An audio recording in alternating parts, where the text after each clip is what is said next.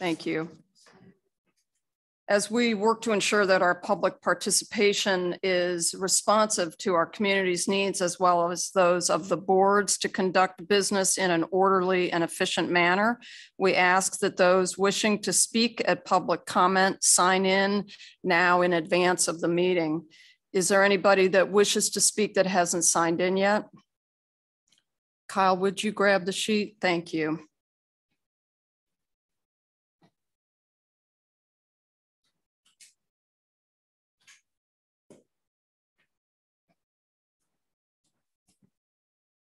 Thank you. And next is the Pledge of Allegiance. I pledge allegiance to the flag of the United States of America, to the republic which stands one nation under God, indivisible, with liberty and justice for all.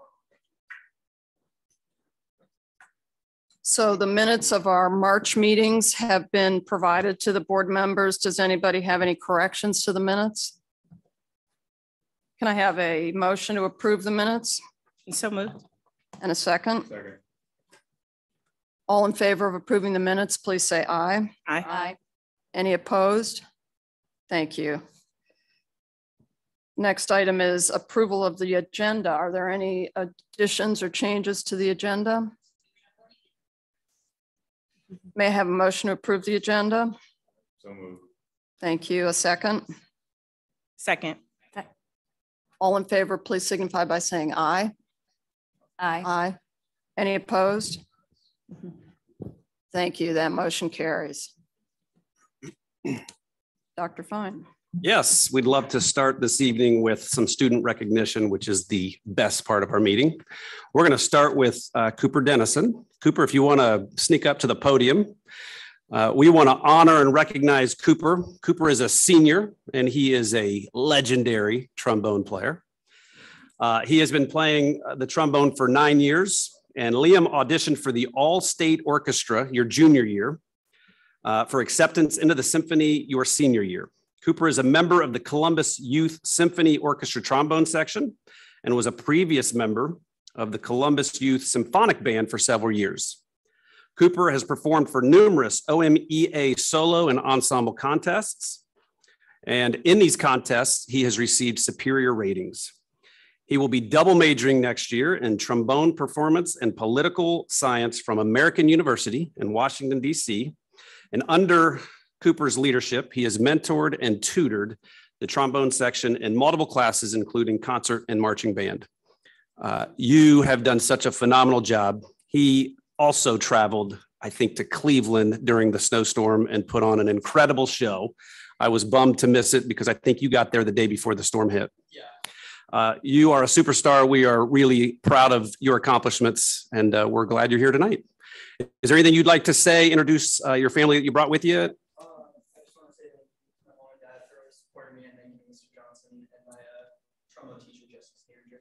for uh, all that they helped me accomplish. And I really appreciate being recognized. Awesome.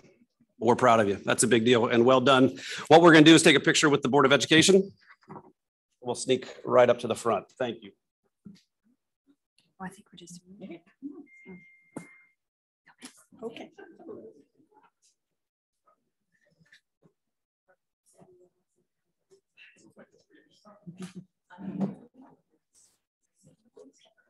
All right, here we go.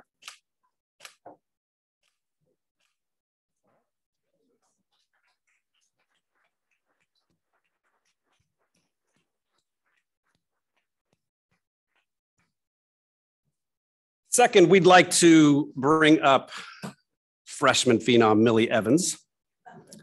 Our so yeah, for swimming. Our coaches, swimming coaches, uh, there you are. Come on, if you want to join, Millie, that'd be great. So Sandy and Millie, we uh, want to compliment all of your work for uh, this past season. Millie Evans placed second in the state championship at the 100 yard butterfly. She set a school record of 54.49 seconds. And for those that don't know swimming, that is fast. At the uh, 2022 OHSAA Division II Swimming State Championships. You were also part of three new relay records and you lowered the 200 IM record in the state finals where you finished ninth. You are only a freshman, but has matriculated to the team well in the second half of the season. You swam also in the U.S. Junior Nationals in December, and you continue to push to go to higher levels with your skills. Uh, your coaches say they are very excited for the many great things ahead. And I said to your grandparents, I'm so excited we get three more years of excitement. So we are really proud of you, Millie. Uh, anything you'd like to say? Introduce the friends that, and family that came with you? Um, I brought my grandparents and parents, and I want to thank them for supporting me. And I want to thank the support I got from my team and coaches, and also to hopefully continue to improve something and bring down the records more. I love it. Well done. Thank you. All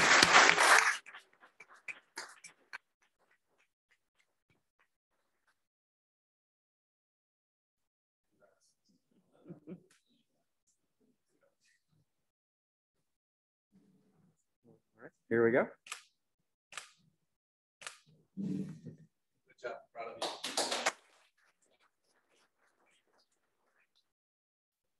Oh, yeah, thank you. And our next swimmer, Nicholas Minkin, I believe walked in. Yes, there he is.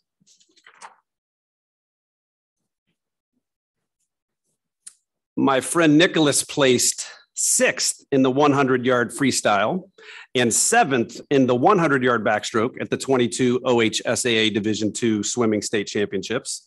You also set a new record in both of those events.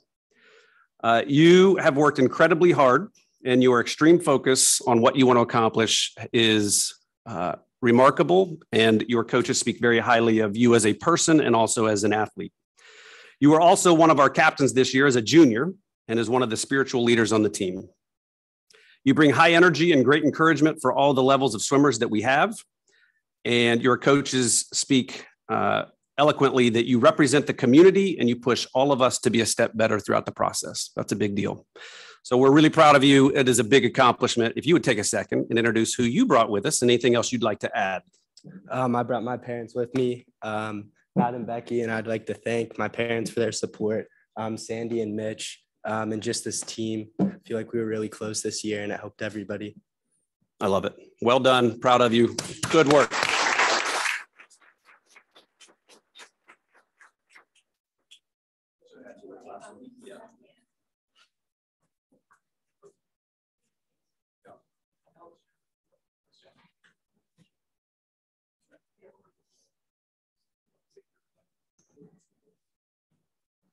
All right, here we go.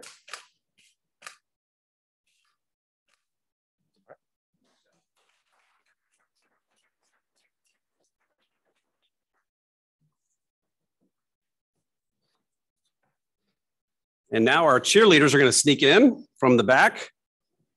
We are recognizing our 2022 OASSA Division Three Game Day Blue and Traditional White Building Cheer State Champions. This crew has done a lot uh, in the last several years, but we're going to compliment and, and, talk about a couple things. There are 27 cheerleaders between the two squads. Uh, their coaches, uh, Brooke and Lizzie and Whitney, are a huge part of their success, and I saw the coaches here as well. Uh, a couple of highlights from the year. You were 2022 OASSA state champs. Our traditional white division three building is three years in a row. And they won that competition, which I think I was at, by 34 points, which was impressive. Game Day Blue Division three game day building, back to back champions, they won by 40 points. And when I was there, it wasn't even close. Game Day Blue won the first ever MSL competition this year in the Ohio division. And every single one of our nine seniors, so seniors, raise your hand. Some of our seniors are here with us. Every single one of our nine seniors has won at least two state titles or more, and four of our seniors have won all five state titles. The two teams have included several individual awards, and Coach Brooke Wojcik was named our MSL Ohio Coach of the Year, which is a big deal. I can't see her, but I, I know she's here. Yeah. So that's a big deal. They've had a long season. I believe all of our team members cheer at least one season of sideline, and many do both in addition to competition. That's that's a lot of work. And uh, having been in the gym a lot for the as a basketball parent, it was really impressive to see uh, your work on the sideline, but then also in competition. I think this is an important aspect. Our team average uh, from our cheerleading squad has a GPA of 3.75. So you do it on the sidelines and you do it in the classroom. That's a big deal. So congratulations to our, our cheerleaders.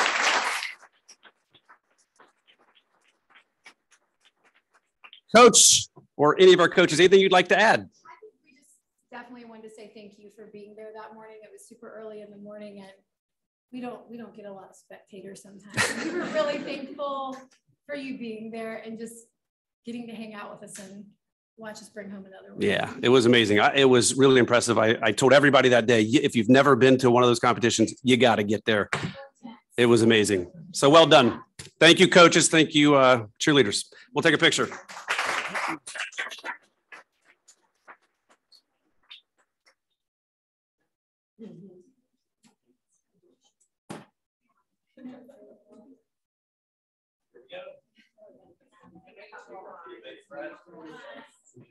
Scoot in as much as you can. All right, here we go. Perfect.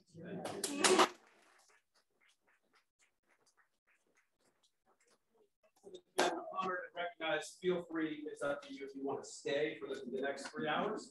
If you want to exit, it's completely up to you. That's a good time. Thank you. Thank you, parents, guardians.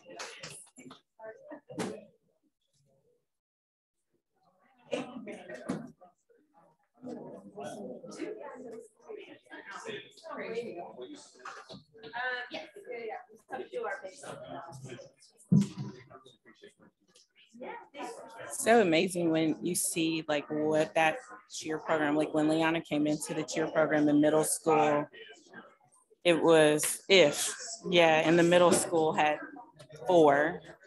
Um, and for it to be like she usually has close to 60 some girls try out. So it's really mm-hmm, mm-hmm. and she still she still is like really engaged with her cheerleaders once they graduate.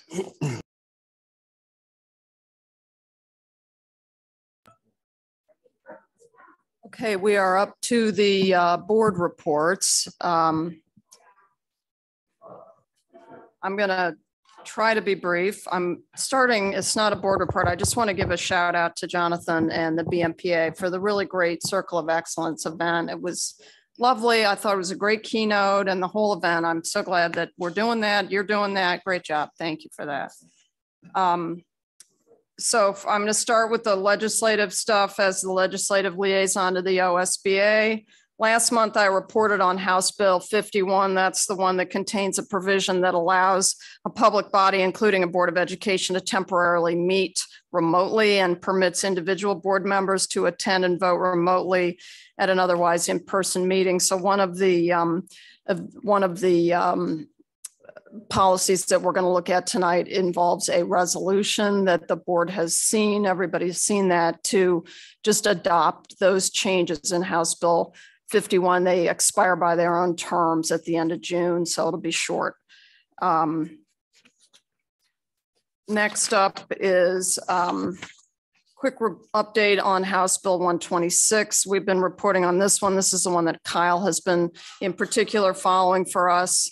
In its original form, House Bill 126 placed certain limitations on the process for po- political subdivisions like a school board, a school district to contest the value of properties not owned by the district for purposes of property tax.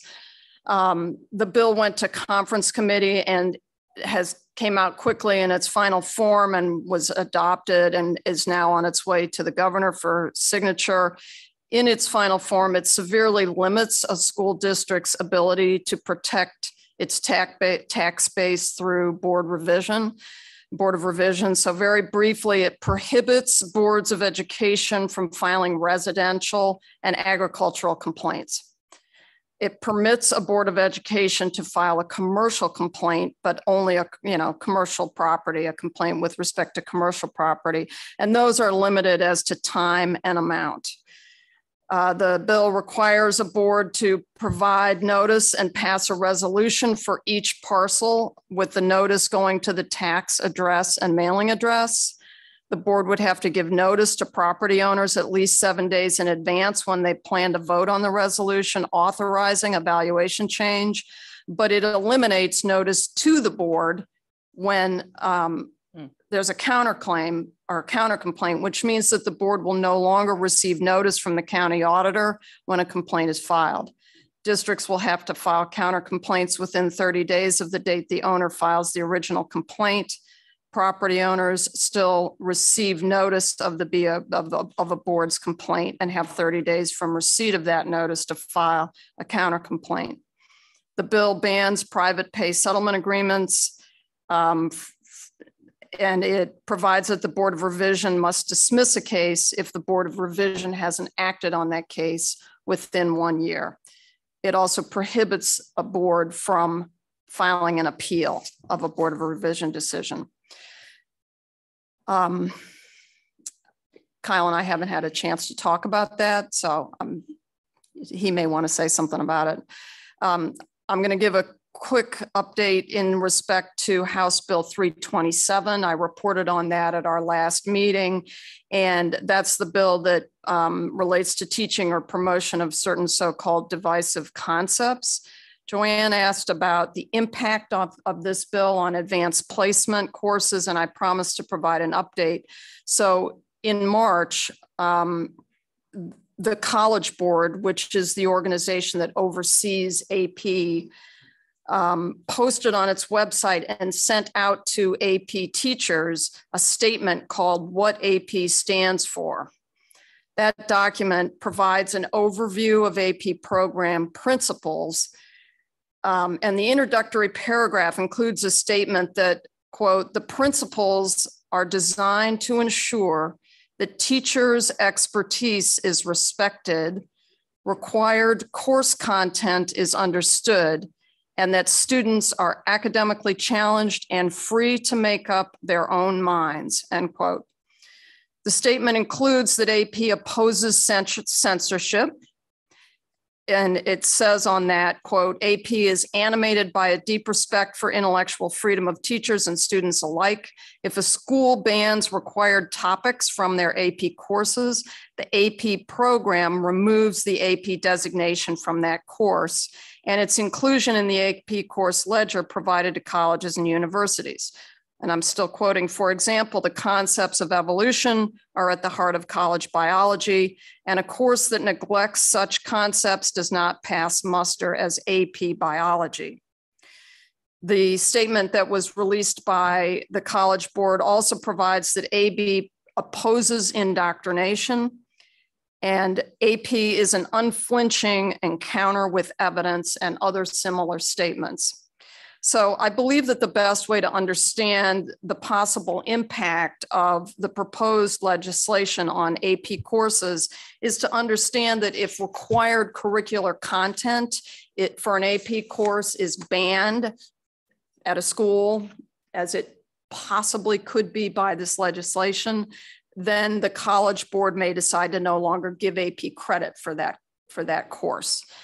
Um, that seems like the kind of straightforward answer to the question that Joanne posed. The more, um, you know, detailed thinking about it brings me to realize that if an AP teacher is just made to feel uncomfortable by this legislation and there's something that's required in the AP course curriculum that they don't feel comfortable teaching, the same thing could happen. They could just decide not to, you know, even if it hasn't been banned, um, they could take the position that they're not going to say something about something because they feel threatened by, um, you know, the the remedies in the legislation if it were to pass. So it is possible that um, there could be an impact. I continue to think that what AP is saying is we're not going to. They don't. They don't um, seem to be saying that they want to pull any AP courses. I don't see this legislation as really necessarily pulling away, banning um, materials that are required. But these kinds of questions are the reasons we need to continue to monitor and be concerned about this legislation and these issues. Um, I'm going to give a quick update on some other newly introduced bills of significance to our board. Um, and I'll start with the related bill. You all may have seen that on April 4th, um, House Bill 616 was introduced into our legislation. That's offered and referred to as Don't Say Gay legislation. House Bill 616 would um, prohibit the teaching of certain divisive or inherently racist concepts in public schools. It would prohibit the training or administration of professional development to employees that promote or endorse divisive or inherently racist concepts. It would prohibit K through third grade students from being provided any instruction on sexual orientation or gender identity. It would prohibit grade four through 12 students from being provided any instruction on sexual orientation or gender identity in any manner that is not age appropriate or developmentally appropriate in accordance with state standards. It would allow complaints to be filed with the State Board of Education, and it would provide for withholding of funding for non-compliance with the bill's provisions. Um, House Bill 601 introduced, um, has also been introduced, and it would increase state teacher retirement system and school employee retirement system employer contributions from 14% to 18%. It would, that would be phased in over eight years. It would require the STRS board to annually institute a cost of living adjustment. It would prohibit STRS from reducing COLA, cost of living adjustments below 1% for certain contribution levels. And it would eliminate a requirement that an STRS member be at least 60 to be eligible for an unreduced retirement benefit. Um, last Senate Bill 308 introduced um, was introduced to prohibit state and local governments, including steel districts, from investing in, granting incentives to, or contracting with Russia or companies based in Russia. It would require STRS and SERS and, and the Bureau of Workers' Comp, among others, to divest from those holdings and um, identified companies that are based in Russia. Um, that's the first part of my update. That's legislative update. Any questions on any of that? Um, Ms. Powers, I am curious how House Bill 616 impacts our um, our current, is it in, um, is it up for debate? Where is it right now? So it is at the very beginning of a process and it's always impossible for us to know how that bill will move what will happen. It just was introduced on April 4th, so it's just just in. Very commonly, what happens next is the legislative, you know, the people who introduce the bill would give proponent testimony about it. They may then give have an, an, another time for people to come in to give opponent proponent testimony, then they might look for opponent testimony. So it there'll be typically there's a process like that. This is very um, you know, it of course uh, heavily overlaps with 327 that we've been talking about. It's much shorter. It's um, they call this the compromise. No, there's no compromise in this. No. Well, no. I'm just concerned about its impact on our equity and inclusion. Um, yeah. Policies and initiatives, and our school districts not able to.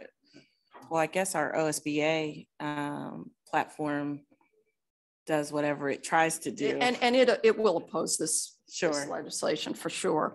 Um, we have every right as a school board and each of us as individual board members to provide, um, you know, what would be considered testimony, but you can just provide it in writing mm -hmm. um, to oppose the bill. There, my experience with that is that the window goes up and down pretty quickly, and I I've been known to miss those windows. So you got to really, I, I sign up to get alerts. Mm-hmm. And when they come, it's like the, the stuff's due tomorrow. You know, it's tough. So um, I, I imagine that, you know, so when three House Bill 327 that addressed much of that didn't have the, you know, it's not the don't say gay legislation, but a lot of it is similar. When they finally opened that up for opposition testimony, they had a lot of people come in, a mm. lot. The Ohio Department of Education, you know, lot, all the different education 'cause It can organizations. have extreme impacts against our teaching staff too. Sure, Yeah. it's part of that same concern Mm. that, you know, was sort- partly addressed in the discussion about the AP. Mhm. So Um, I, I do have a question about the, uh, the counterclaim notice. So we are in, what is that, House Bill one twenty-six? Yeah. So we are obligated to give notice, but they, they don't don't have to provide us. That's right. a counterclaim. And is it, did I ha- have that right? It's a seven-day window to try to, We have thirty days from the date of the filing to file a counterclaim, but we don't but you don't know that it's happening. So you basically. And when we give watch for it. notice, we give no, when we, when we were to, if we were to file something, we do have to give notice and their time runs from the time that they get the notice. So it's, it's, you know, the seven days is, um, we have to give, we have to give seven days notice of the time, if we were to, we can't do anything unless we, as a board, adopt a resolution that we're gonna do that around filing a complaint, and we have to give seven days notice of our intention to get together to, to do that. Is there a mechanism, Mr. Smith, um, to be able to get alerts? I know like, um, through. The mechanism would be public records request on a daily basis. I was thinking about that question. have and it- never felt more deflated. I know, I know. I, I I was wondering if we could do it like every, if we could have a search done every twenty-five days or something, because then we would at least, I mean, it's crazy. But if you pick something up on the twenty-fifth day, you'd have five days to Right. um, Hmm. file, which would not be within a seven-day notice window. Oh, right. That's right. Um, so That's right. I imagine So we'll, essentially, the barriers are designed to, you know, it's sort of like a placate. We've given you a- an opportunity to, to counterclaim this, but really there are so many barriers to even issue a counterclaim.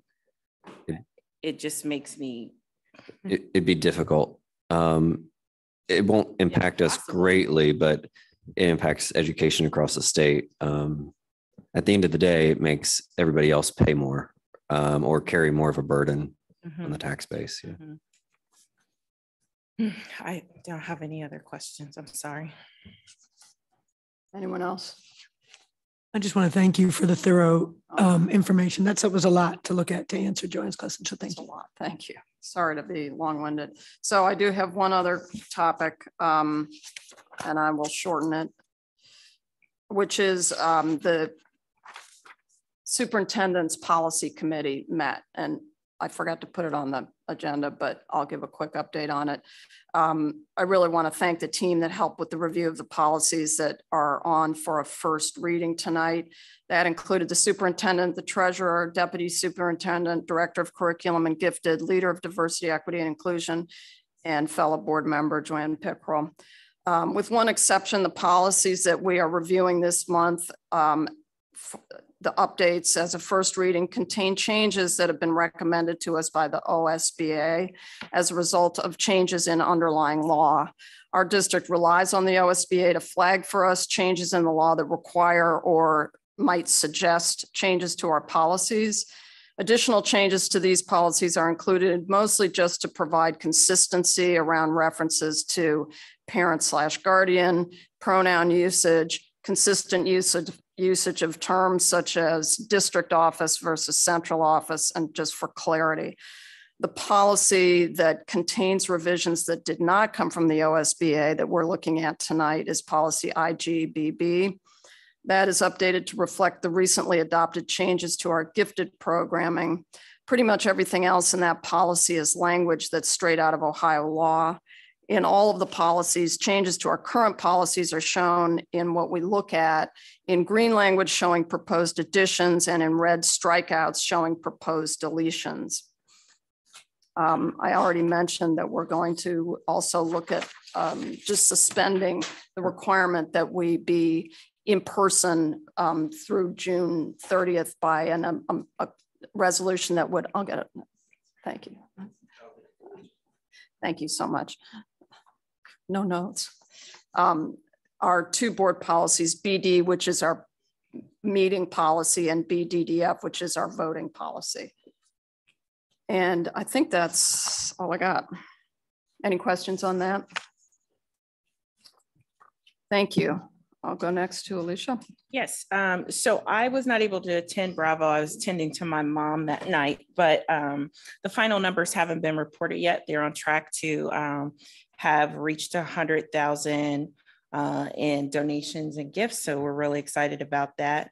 Um, they just had their deadline to nominate Educator of the Year award, uh, and I remind me to um, Friend of Education Award um, after.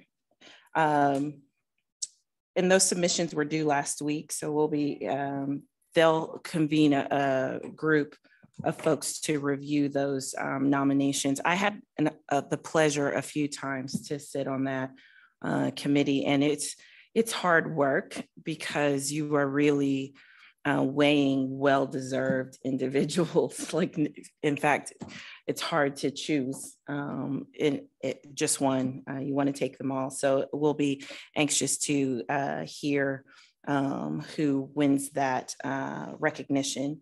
Um, the BEF generously donated $100,000 to Bexley City Schools uh, towards lighting and sound upgrades to the Schottenstein Theater. It's been a while. Uh, it's well well uh, needed. And so we'll be excited to um, enjoy the benefits of that with our incredible theater arts program. I may sound biased since I have a theater kid now, but um, it's a pretty good program. Uh, we received $75,000 from Jay and Jeanie Schottenstein's foundation and $25,000 from the BEF grant. So it's always great to hear um, those dollars being earmarked. And uh, we thank the Education Foundation. We could not do a lot of what we do to this day without their support. Um, students in Miss Mallory's class enjoyed a, a seminar from Dr. Jeffrey Weidlinger the Holocaust. Um, and so that was a really great um, uh, offering. We have not had a finance advisory meeting. That's next week. So I'll report out in our May meeting. Um, no facilities meetings for, for me to date, not to give you more to do, Dr. Fine. Let's get it going. No, I'm kidding. Um, and then I just have some outside of board committee updates. Um, the final steering committee meetings for the Livingston Avenue corridor um, uh, improvement are scheduled. I just finally submitted my doodle poll um, attendance. So once that meeting is set, I'll report out that information in May. And then the Bexley uh, City uh, Police Youth Interaction Policy Subcommittee meets tomorrow, but I actually won't be in attendance for that because of work. So they're going to send me the updates on that and I'll report out um, on, on that information. Uh, and then last but not least, um, to our new uh, board members, um, we annually award uh, a Friend of Education award that's uh, from the Bexley um, School Board, and we have not even circulated. Oh, excuse me. Sorry, I jumped the gun. I got all, you could have told me that. Next month. so, sorry, I was just panicking because we always wait and, and then it's a rush and yeah, it just reminded me when I had the BEF one. So, all right, well, I'll shut up now. Sorry, guys. I have nothing else. Good, thank you. Mm.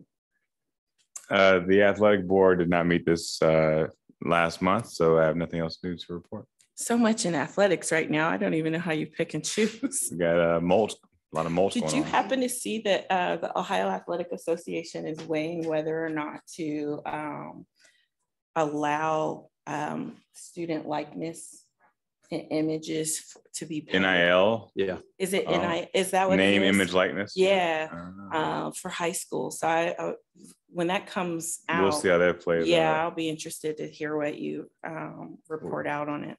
I'll be looking for it.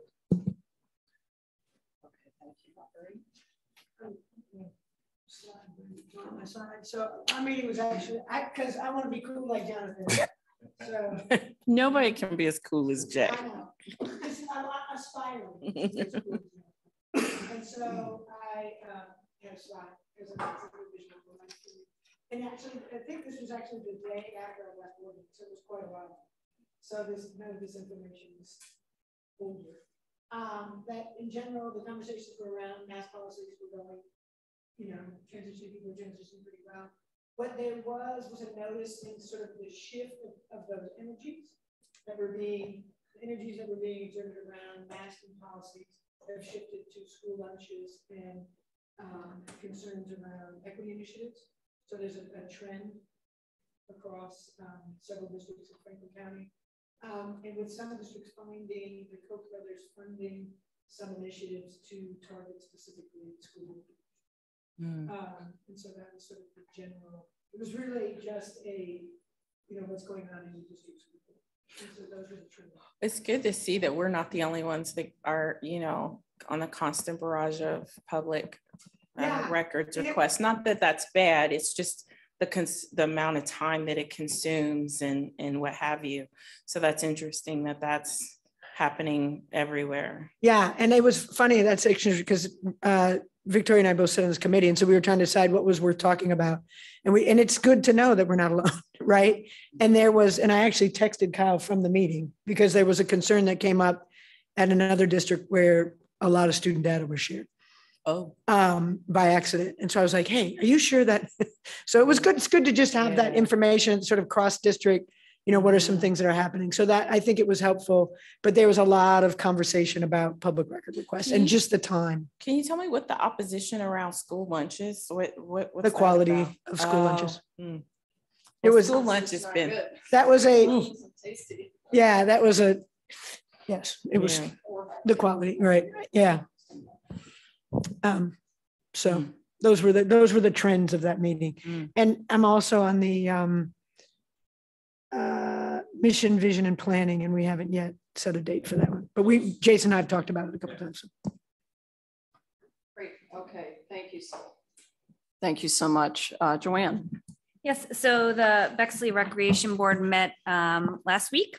During the meeting, we discussed a lot about pool operations and summer camp. As you know, a lot of our students are involved in the, not only the before and after school program, but also their summer camp program. We also discussed the Commonwealth Park, sorry, master plan. Um, they are started work on, there's two athletic fields on that park. They've started work on the west side. They're going to start work on the east side, which may impact some of our programming, which I talked to Dr. Fine about, mostly on our practice fields. Um, and then the summer brochure, as you know, many of us found in the mail today, that opens up on April the 25th. Um, also on summer programs, if you know a um, person who wants to have a seasonal job with the rec department, please apply. There are still openings. We like to get those filled. And then as many people know in the room, Barb Griner, who has been a Parks and Recs employee for over 30 years, retired. Uh, she's always been an advocate, not only for the rec department, but for expanding programs as parents and students and seniors wanted more programming. She is going to be also working part-time now over at the senior center, which is a passion for her and ex- helping to expand those programs. I know she'll be greatly missed. She was always just someone who took your phone call and tried to help you figure it out. So um, Absolutely. she's- yes, uh, um, so she'll be greatly missed and they have filled two positions to cover really her one position. So, but she's still gonna remain involved. So. That's great. Congratulations to her. Thank you. Quinn, do you have a report? Thank you. Um, yeah, I just have a few updates from the high school. Um, last Friday, uh, we had student council uh, presidential elections for next year, and I'm excited to say that James McCann will be the next student council president of Bexley High School. I know him well. I've known him for a while, and I have great faith in him to lead student council next year. And you guys will meet him here soon. Um, in the upcoming weeks, the uh, current executive board members, James and I will be reviewing uh, and interviewing candidates, reviewing applications and interviewing candidates for next year's uh, executive board. Um, on the events side, student council will be hosting a game night um, on April 29th in the high school library.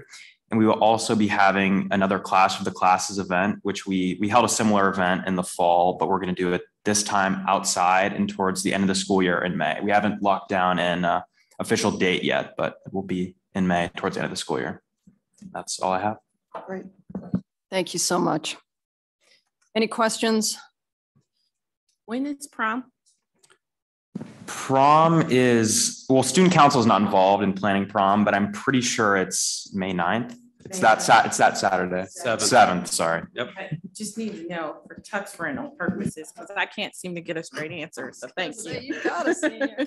Yeah, he, he goes on. And when is Quinn's last day in this setting?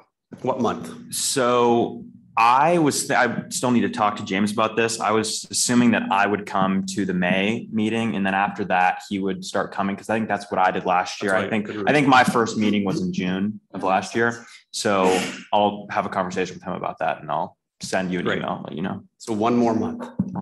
All right. Awesome. Thank you so much. Next over. Yep, you. thank you. Brad's going to help me with uh, some slides. Thank you, Quinn, as always. Great job. I'm excited to have James join us, but you will be sorely missed and we'll give you your send off next month. Uh, Just April celebrations. You've mentioned a couple things, some wonderful things happening throughout the district, but one that uh, I think we've done uh, some work around is making sure that each month uh, celebrations take place driven by students and uh, with the assistance of our leader of diversity, equity, inclusion, Marcellus Braxton. Uh, Recently, we sent out communication to the staff and students uh, regarding Arab American Heritage Month and opportunities and supports. It's also School Library Month and other things, uh, but lots happening in our district that I'm really thankful for. We will move to our athletic facilities update. We've talked about this for the last several months. Things continue to move forward. We continue to hold conversations with the Jewish Community Center about the possibility of enhanced athletic facilities uh, for our students on their property. We are currently entering the feasibility study or stage of this project to determine the options of the site. So we will continue to update you. I believe Kyle and I have a meeting coming up in the very near future. So uh, some design phases occurring here shortly that we will be able to share with the board. Any questions on either of those two items? A mixed emotion for us here at Bexley. Susan Drake, our amazing principal at Maryland uh, Elementary. Uh, She has recently accepted a role as the Director of Operations for a nonprofit organization. This is obviously bittersweet for us. Uh, She is a superstar. She is incredible. She is a light of energy at Maryland. Uh, We were there, I think, last Friday. She was in the middle of dealing with uh, supporting students at the time that we were ushering her into the library so that she could share with her staff. And that was obviously an emotional moment for everyone involved. Uh, We are so thankful for her impact on that community as an instructional leader, but also most importantly, as a, a connection and a relationship builder. Uh, I'm really thankful that she is re- uh, committed to remaining at Maryland through the end of the year. I think uh, you'll see on the approval, I think her final day would be June 17th, I believe. Uh, So we appreciate her willingness to stay put and continue fighting for students and staff. Uh, And she will be able to assist us with our transition plan. We will be communicating very soon in the near future, perhaps in the next 24 hours, a process that we will undertake to find our next replacement. So we're excited to go through that process, um, but it is tough when you lose somebody like Susan Drake. So happy to answer any questions about Susan. I was just gonna say, you know, it, it is a, a hard pill to swallow when um, a talent like that leaves us, but what a great um, testament to finding your second act. And I hope that um, students kind of take that um, example that, you know, you can do something for Yep. so long and, and it be a passion uh, for you and then to have an opportunity to pursue another passion in life after having such a, a great career is Yeah. a really great step. So I wish her the very best. I know she'll do a great job. Thank you. And I would just like to say she has been my daughter's principal for the last three years. And she is um, really amazing.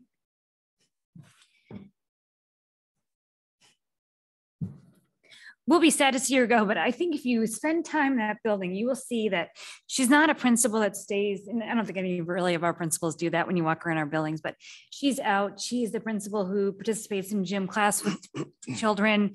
She's out at when kids come in in the morning, when kids leave in the afternoon.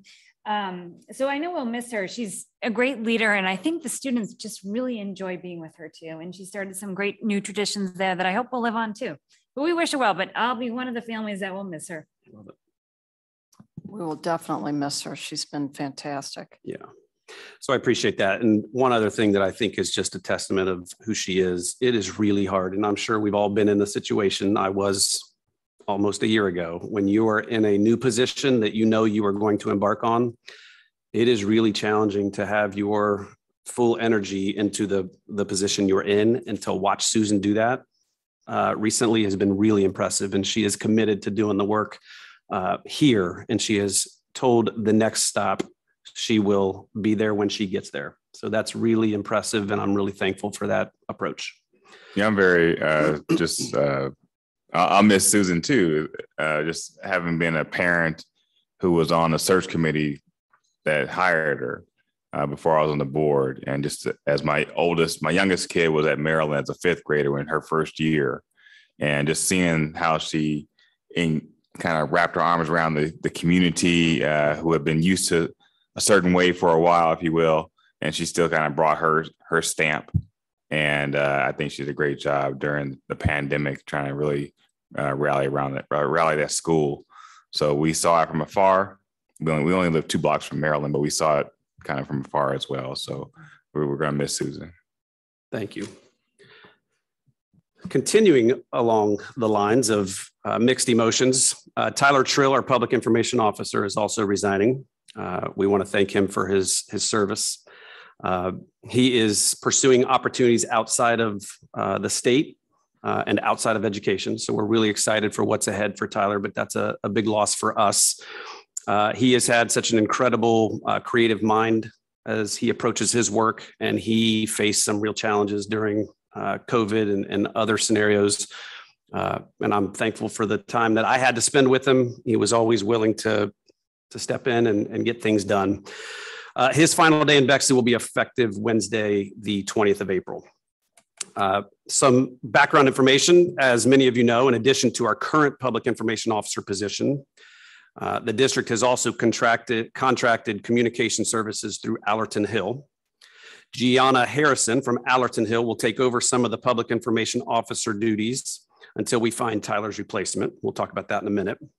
Gianna is very familiar with Bexley and has helped support the district's communication uh, efforts for a few years.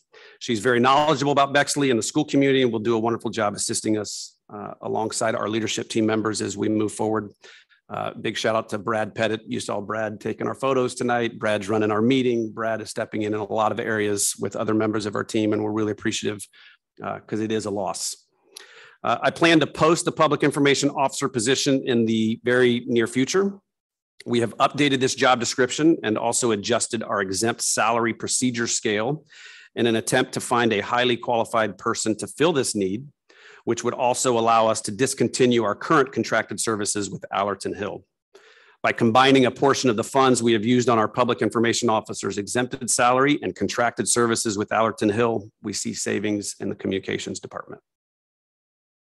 And Dr. Fine, just really quickly refresh my memory on the, um, are we bound by like a 30, 60, 90 day notice with Allerton? Hill? Yeah, if you recall earlier, I think it was September, and Kyle will be able to speak specifically to this. We asked that question, uh, and they said they want to work with us. Uh, if we stay in communication, I think it went to a 30 day, uh, 30 day notification. We've been in communication. They they are aware of our plan and and what we're doing, and the hope is to communicate with them as soon as we find uh, who we're looking for. Yeah, I'm really thankful for that. They've been a great partner yeah. to help us in those gap areas where we needed some additional um, communication and and flushing things out. So, um, but that's good that we were able. I couldn't remember what the yeah. window was. We we tweaked it earlier this fall with with that being our plan.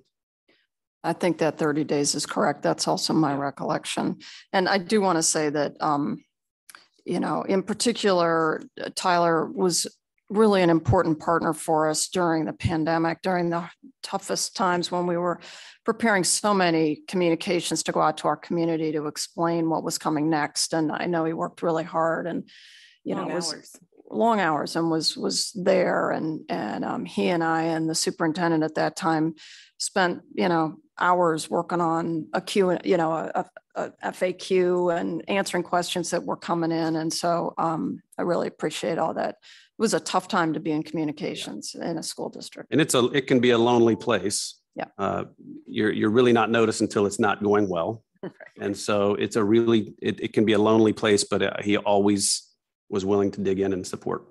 And he gave us some really um, true gems uh, in terms of uh, product output, whether it be short videos, um, you know, interview coverage, whatever. Um, it was something that was new to Bexley. We didn't, you know, we operated solely print. Right. Um, and he really took us to a new level in, in terms of digital communication, um, increasing our our our what do you call them? So I'm aging myself here, but on social media, Posts. not posts, but uh, views. Yeah. views. Yeah. Um, he increased views uh, a- a- and, engagement. That's the word I was There looking for. Um, engagement uh, with our community and, and people that support us, whether they have children in schools or not. They were now able to hear and see Yeah. a lot of the work and the exciting things that happen all the time in the district. Um, he took it to a next level. So um, whoever's getting him is really getting um, a keen eye for that that uh, skill set, and he he helped me look really good in pictures. Well, I love that you do. mentioned his skill set. So you will see in tomorrow's newsletter and in your board report, uh, and we'll post for some engagement on social media sites. His swan song, he's worked with our amazing uh, early literacy folks and created a video to, to showcase some of the work that we do, which is really going to be helpful for our families and, and our community members. But it's a, it's a perfect way for, uh, as he exits, Yeah, to leave that, That's that- awesome. that uh, lasting impression. Marguerite? Um, when, when you reached out to similarly situated school districts with communication structures that you think are successful, what did you learn about costs and structures, right? Like, Yeah. you're sort of reorganizing, right? You're taking two bodies of money and putting them into one body and Mhm. in a hope both that get a really high quality single person and also save some money. Yep. So what do you? So be, what I've learned is most, I think of the five or six, seven local districts that I talk to, everyone but one still, no matter what system they have, they have Allerton Hill or another uh, firm. Wow. Uh, The one who does not had a different firm. It wasn't Allerton Hill, but had a different firm and they've since uh, moved away from that and brought in someone. uh, Someone down the road with a very similar uh, makeup as us. Uh, We're at 2,400 ish students. I think they're at 3,400. They have uh, a public information officer that's making closer to 100,000 uh, and then a 20, uh, $15,000 contract with Allerton Hill. Some of those bigger districts in the belt are two. They have a, a chief and a, and a public information officer, an assistant. Um, so that's, as you get into the more like us, it's one person with some support on the side from Allerton Hill for that moment of crisis. Sometimes they use them for their social media, uh, helps monitor to protect, support. Uh, but those are the things I'm seeing. I, I was surprised to see the majority of them uh, still have a, a smaller contract with Allerton Hill or, or a, a firm. So you saw a shift in much the same way that you're shifting. more- Correct. Sort of more increase in salary and a smaller. and a contract. small contract with, with them for the, for the moment of uh, unforeseen issues. Before you move on from um, shift from the position from um, uh, I'm, I just want to offer, and I don't know if, because this opportunity will come up, that you, and we talked about this a little bit on Monday, take the time to offer a runway for Right. yourself in the district Yeah. before filling the principal position. And really rethinking potentially what the principal description is, like the job descriptions, revisiting that, that are in alignment with the policies, th- taking some time to do this process well in alignment with your sort of vision of what the district can be. So that's not- Noted. Thank you.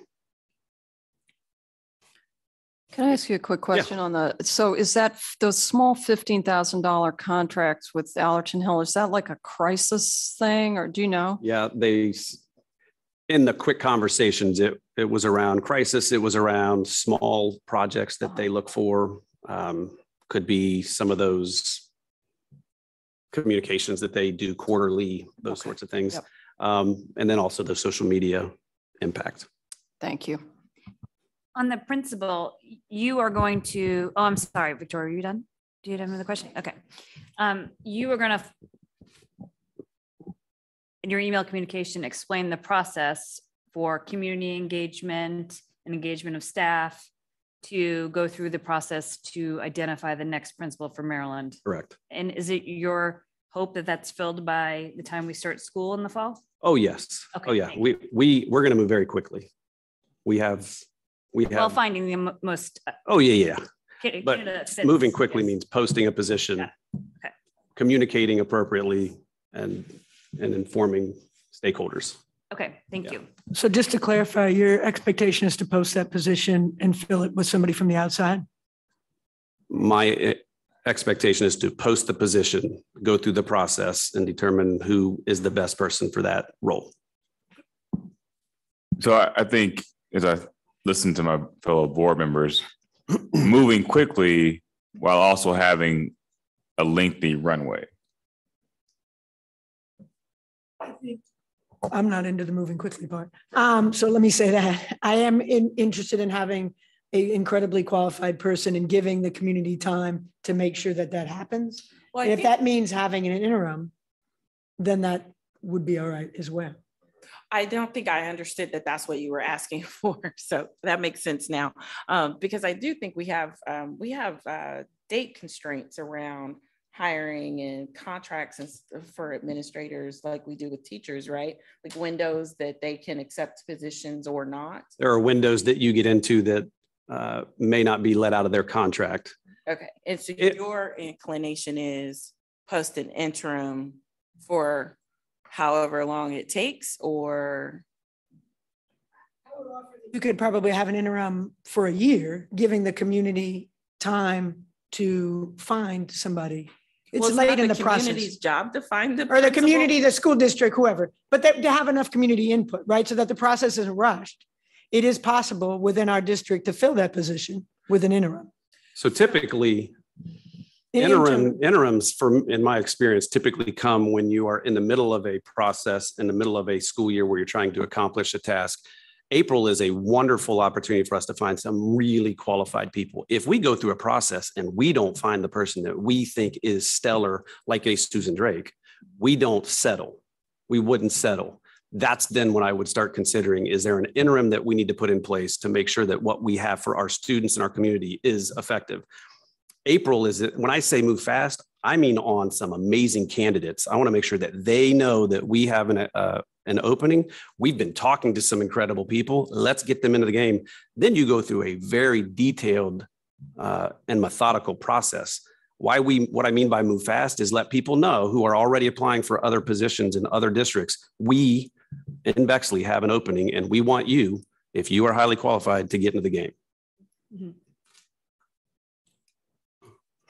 So I think just because uh, Dr. Jade and I have, and Jonathan, uh, Dr. Baker, sorry, and I have all engaged uh, from a community standpoint, board uh, standpoint, uh, but definitely as community members engaged in um, the processes of, uh, in the last few years of um, hiring, and you, you as well, you were on the committee for um, Ms. Drake as well? No, my kids weren't in school yet. Oh, okay. I didn't know.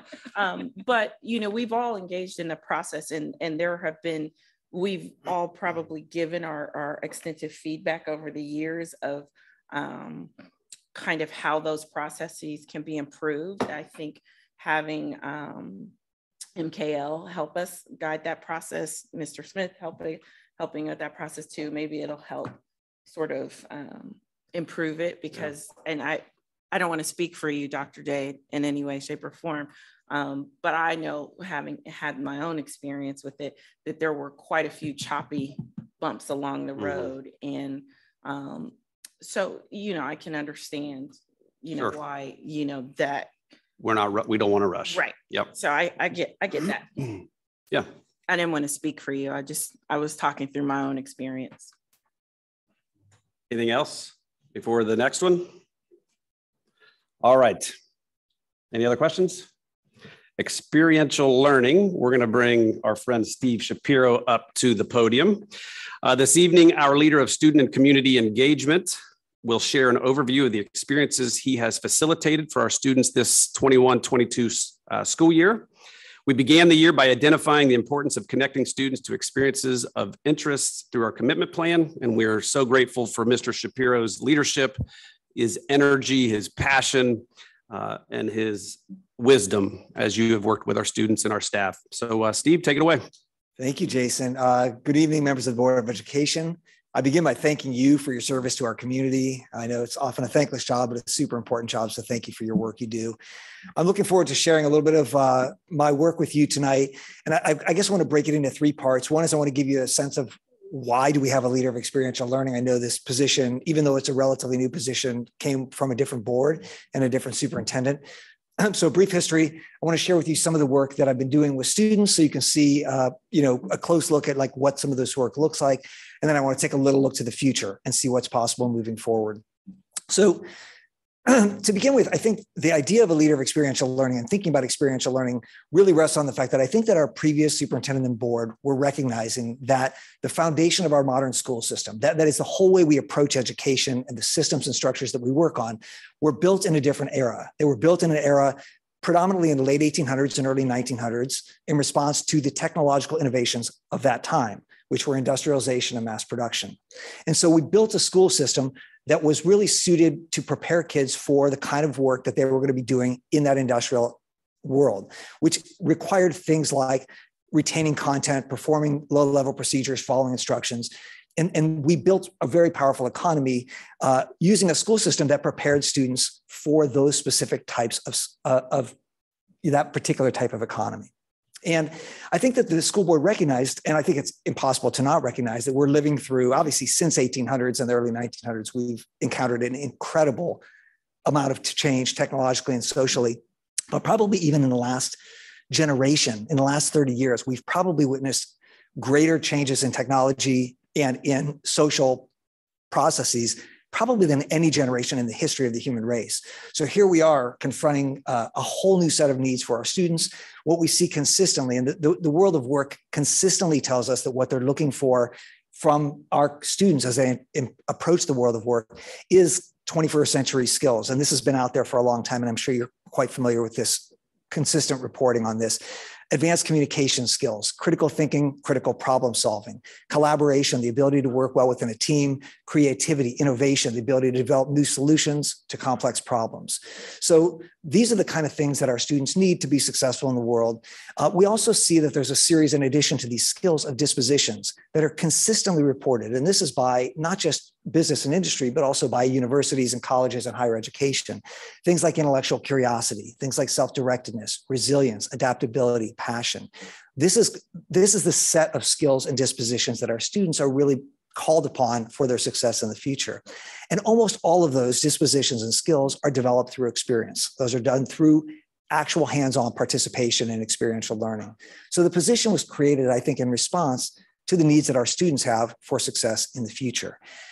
Um, I want to share with you a little bit about what that's looked like in my position. And I also want to add in the expansion of community engagement, which happened when Layson Smith left the district last year. And I picked up some of her responsibility for engaging our community. So I'll talk to you a little bit about some of the new programs, special learning opportunities, career exploration, classroom implementations related to experiential learning. But then I'll also share with you a little bit about briefly community engagement, partnerships, learning opportunities, and equity initiatives. So I want to take you through some of the programs that I've had a chance to work with and develop in my time two and a, two and three quarters years in Bexley schools. One is the Global Scholars Program, which is a partnership with the Columbus Council on World Affairs. I work with Jennifer Cedeno, a Spanish teacher at the high school. Uh, we have about 50 students, ninth and 10th graders, who are participating in this program. This program is really specialized in focusing on uh, global cultures, global issues, and global careers. So we're giving our students a chance to get connected with uh, global awareness and preparation for their future. I've also had a chance to work uh, and help develop with the Bexley Minority Parent Alliance, the Buddies program. I've worked with Lisa Kelly from BMPA. This is a mentorship program where some of our high school students of color have been able to take on the role of mentoring some of our elementary and middle school students of color. Uh, this program has been really powerful, not just for the little buddies who have had a role model who looks like them and who they can look up to. But it's also been really powerful for the big buddies who have had an opportunity to step into a role of leadership and develop themselves as someone who can make a difference in the world. You can get a look at uh, some of the students. We have about 17 pairings this year. This was last year's group. Also, we formed a new program in partnership with the uh, Bexley Chamber of Commerce this year, and I'm, I'm, working with Nancy Mallory at the high school on an initiative called Bexley Women Lead. We've got 15 ninth and 10th grade students who are basically learning about leadership and developing their own leadership in in conjunction with some women leaders from our community that the Chamber of Commerce has identified.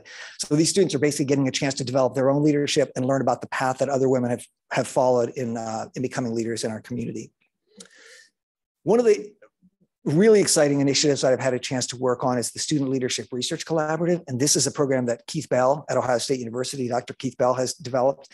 This program basically asks students from about 20 different schools around central Ohio to identify a problem in their school, research it, and develop a solution to it. And last year we had a group of students involved. This year we have another group of students involved they're getting incredible leadership development. Keith Bell brings the A list of leadership speakers. I think tomorrow they're meeting with um, the woman who wrote Freedom Writers, the movie was based on. Uh, here they were meeting with Warren Moon. Really amazing leadership development. But the heart of the program is students actually doing independent action research on issues that they care about in their school, figuring out what's really happening, and then proposing solutions to try to make a difference. And so uh, these students, the students this year in the program, there, there are nine students. The three students in the front row are working on uh, expanding representation and belonging for students of color. The students in the middle row are working on achievement culture, pressure, and stress for both students and staff. The students in the back row, including our new student council president, James McCann, are working on trying to expand opportunities for more student directed learning in our high school. So my hope is that you'll have a chance to hear about their research and hear their proposals uh, as members of this board as they roll those out in the next month. Also, as the leader of experiential learning, I've had a chance to get students out into the community where they've had a chance to see uh, and interact with adults in a variety of formats. Um, these are just some brief pictures from around. I won't go into the details of specifics, although I share them in board reports, so you, you may recognize some of the opportunities that our kids have had. Um, but, but these have been really op outstanding opportunities for our students to get outside of school and experience learning in the community. I'm really proud to be working on expanding the number of exchange students that we serve in our school from outside. Every student, exchange student that comes in brings a global culture with them and gives our students a chance to expand their worldview. I'm really proud of these three Bexley kids. I think probably the most we've ever had. We have three Bexley students who are going out next year for a full year to be exchange students. So I'm really proud of these three. They're all going to be working through Rotary and spending a year overseas uh, as students next year. Career shadowing has been a big part of the work. Uh, this you can see as a shot from Bexley Connect. And Bexley Connect is the database of community members who have offered to become uh, role models and to share their professional and personal expertise with our students. We have over 500 community members in Bexley Connect, and they have served uh, as as mentors and hosts for career shadowing experiences. We had one in October and one in March. Uh, serving about 300 of our students. Our students got out into the community, learned about careers, uh, were mentored by some of our uh, some of our community members. And it was really some really powerful experiences for kids. But I thought what was really great about the career shadowing that we've been expanding for our students is that not only have the kids found it powerful and eye-opening and enlightening and opening paths for their future, but our community members have been really lit up by the chance to work with our kids. If you if you run into Chad Eddy sometime, ask him about his time with our kids. Uh, it's it's been exhilarating for our adults to be able to share their expertise with our kids. Even the governor got involved in March, hosting a group of our students at the state house. We also added the senior takeover this year, where we invited some of our seniors to take the take the reins and teach. And we had some really awesome sessions led by students on the day of the ACT, where our seniors were basically teaching a lot of our freshmen and sophomores some really cool stuff. So we're trying to give more opportunities for students to lead. In terms of community engagement, um, I'll be pretty brief on that we've had a chance to develop a lot of partnerships and these are some of the organizations some of them within bexley some of them in the central ohio community but part of my job is always looking for opportunities to connect with who's out there and find opportunities for our students to work in authentic ways with organizations in our community. And that's those partnerships for me are really important and joyful. And I think uh, as, as with Quinn being a part of this body, I think when our students are part of adult worlds and working in authentic ways, that's when they really have a chance to blossom into their full potential. We've expanded community engagement beyond, we had done a lot of like, we're sharing stuff with you. One of the things when I took over Laysan's portion of that job was I wanted to expand not just us sharing with our community, but us talking together with our community. And so we created Hey Bexley, Let's Talk. And we've had a series of conversations where our community has come together to discuss uh, important issues using podcasts and, and, articles as, as foundational discussion points. We've talked about equity, we've talked about achievement culture, we've talked about college rankings. We also hosted a session on the dangers of fentanyl to uh, help our parents be more aware of how they can help keep their kids safe in the face of this public health crisis. So if you kind of look at the what I've shared, you've seen that I've talked about new programs, I've shared special learning opportunities and career exploration, community partnerships, learning opportunities. I hope you've seen the equity initiatives, although I think that could be a whole other presentation. But what you haven't seen as much of, and I think one of the areas uh, that lies before us is the idea of classroom implementation. So most of the work that I've been able to do has been on the side. It's been taking kids out for a special program, taking kids out for a special day. But I think the area that I have had probably less success than I would like to have had so far is on actually transforming the daily learning experiences of kids so that experiential learning is at the heart and the core of what they do. And while I'm not here to make any excuses, COVID has not been super helpful in creating space for authentic learning experiences in our classroom as teachers have scurried heroically to respond to distance learning and you know Zoom and a, a thousand things. But I think the opportunity that lies before us. I think when COVID hit, um, for those of you you know you pay attention you know in business there's always that looking for disruption it takes a disruption to lead to change covid has been the disruption to the education system we, we probably will never experience a greater disruption to business as usual as covid produced for us and i think the first reaction to a disruption is we need familiarity and we cling back to what is comfortable and what's what's recognizable but I think what's been interesting, and I, you've probably heard this this year, and I've heard it from a lot of students and teachers, and you see it in a lot of research, is people saying this year has been even harder than last year. This year has been even more difficult. And I think it's because we're clinging back to the old system and it's it's overwhelming as it as it as we face it. I think the opportunity before us today is to say, okay, the year is going to end. We have a chance to step back. How do we reassess what's happening? How do we look back and say what vestiges of the old system are still there that we're ready to let go of, what opportunities for new models of education are available that can prepare our kids for their future, um, not our past. Uh, one of the things we're doing, and I, I applaud Dr. Fine because I think he's really showed leadership on this, is um, I've been working with a team of folks to put together a major summer institute on authentic learning and leadership. This is going to be a, a, a two day experience, but it's also going to have pre conference and a lot of post conference learning opportunities every principal in our district is going to attend this, this conference, this institute with a team of teachers from their school. And I think it's our hope that this will be beginning of a conversation that we can engage our teachers and our principals in really examining what's possible. How do we engage our students with more authentic learning opportunities? How do we prepare them with those skills and those dispositions that they're going to need for their success? So I'll leave it at that, and I'd be happy to answer any questions you have. I got a question, Steve. Thanks for the presentation. It was super helpful. It's always nice to see the kid. Thanks, Mark. Um, so when you consider the achievement culture that's kind of fueled by grades and test scores and the tracking structures that exist in Bexley starting super early on, how might they be disrupted by this sort of experiential learning model? Well, I mean, I think the, the, the, examples that you pointed out are part of a kind of a structure, an organizational structure that schools are based on.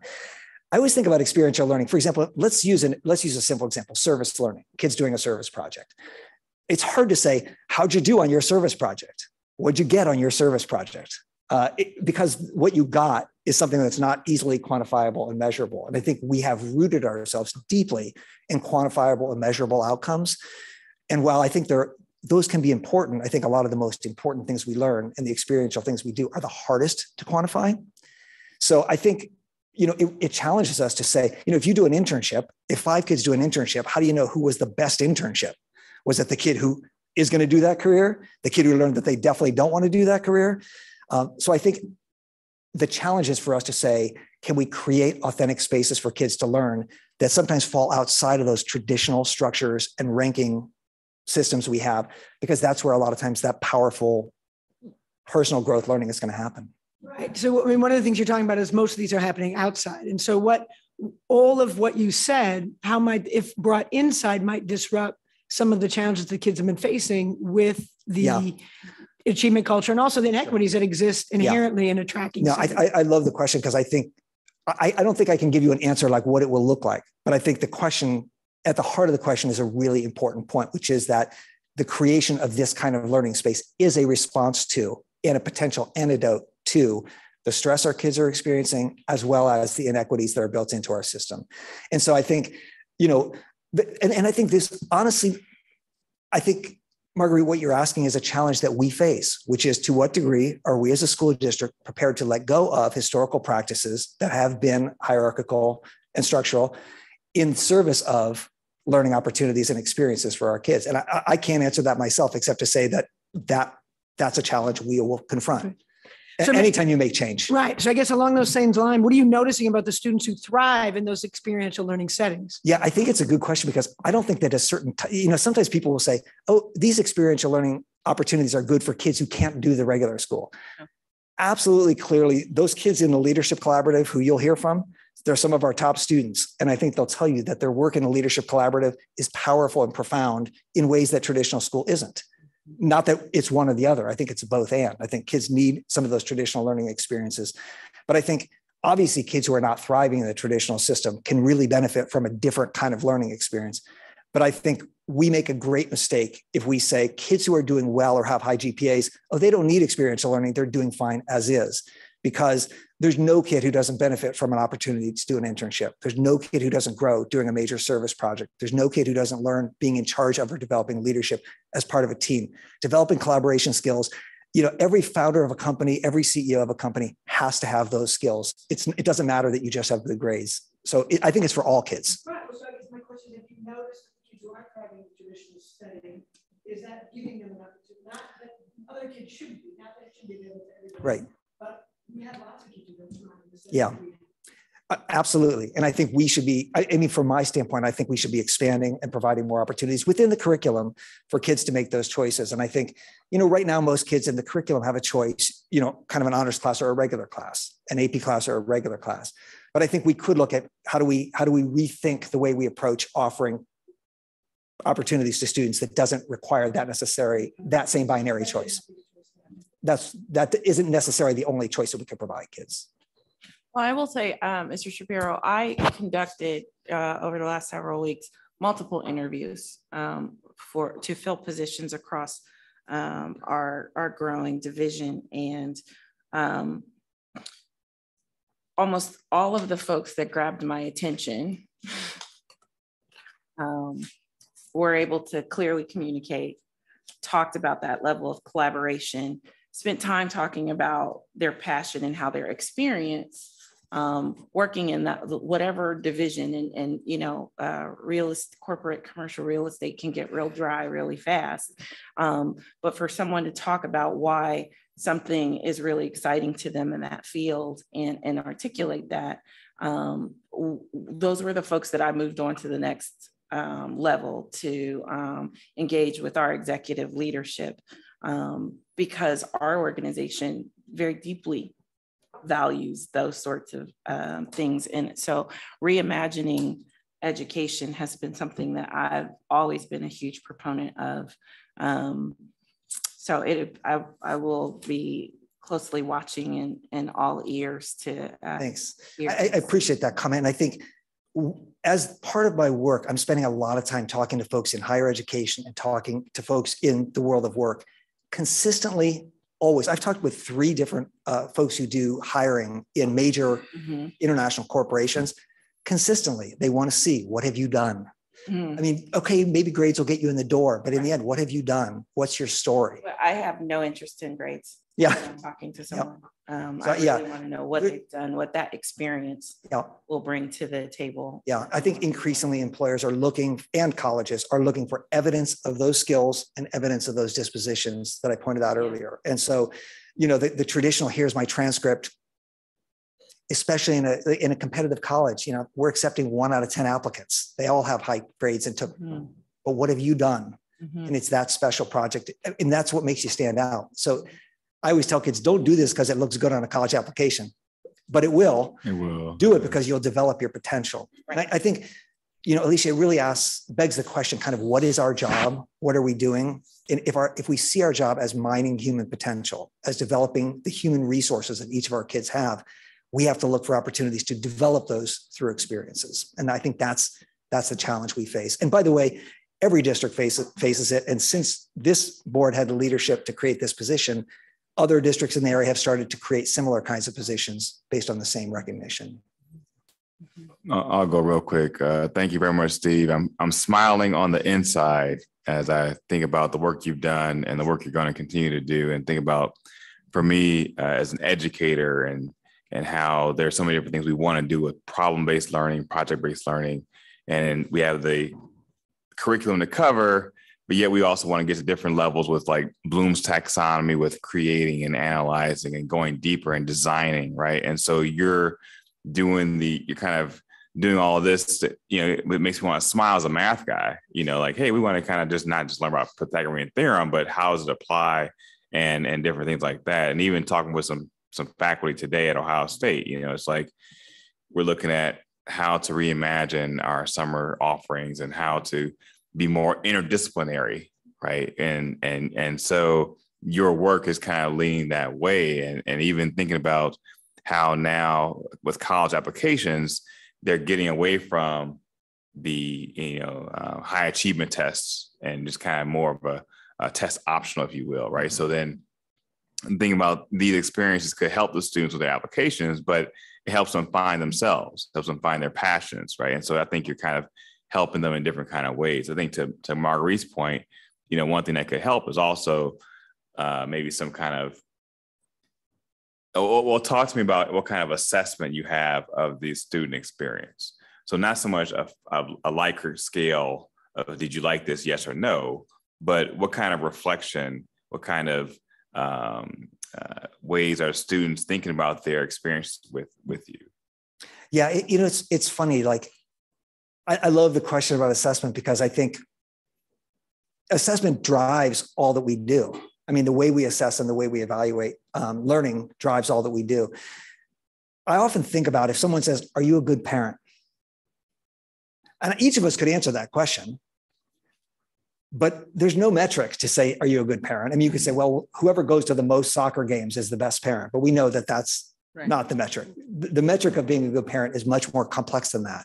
To understand our success as parent requires a much deeper level of reflection, a much more honest and personal take on that. And so I think this is part of the challenge of experiential learning is it, it belies the simple assessment of like, give me a number and tell me how good it is. It's more complex because the rich things in life always are more complex. And so what we do see in as students go out and do these experiences, we've been collecting a lot of research from them. And some of the students in the leadership collaborative have been collecting research. And what we find is kids are lit up, kids are excited, kids are happy, they're joyful, kids are seeing relevance in the work that they're doing and recognizing it as contributing to their future. And I think that, you know, we the fact that we are experiencing kind of a mental health crisis for young people and for teachers frankly in our country right now is no secret. Um, it's the surgeon general has put that forward. It's it's evident in all the research. So i think one of the greatest indicators of what's possible in experiential learning is the joy. I mean the the theme of this conference is making learning irresistible getting back to the joy of teaching and learning both for our teachers and our students because in the end the joyful learning is where a lot of the most important growth happens. And I think a lot of that's been squeezed out in a number of ways. And the last thing I want to say too is thank you, thank you, thank you for going to all the teachers, going to all the students, and really trying to sell and talk about what you're going to do. Because I'm sure there's plenty of emails, there's plenty of correspondence back and forth, there's plenty of starts and stops.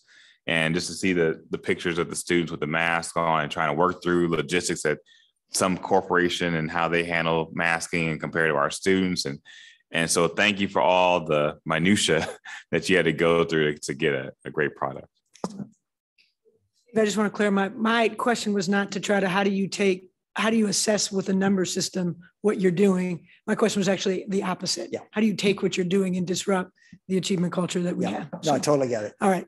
Totally get it.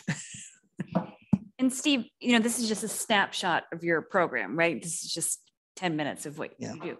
Um, could you talk a little bit, and some of your programming lends more to interaction between yourself and students at the high school level. Mhm.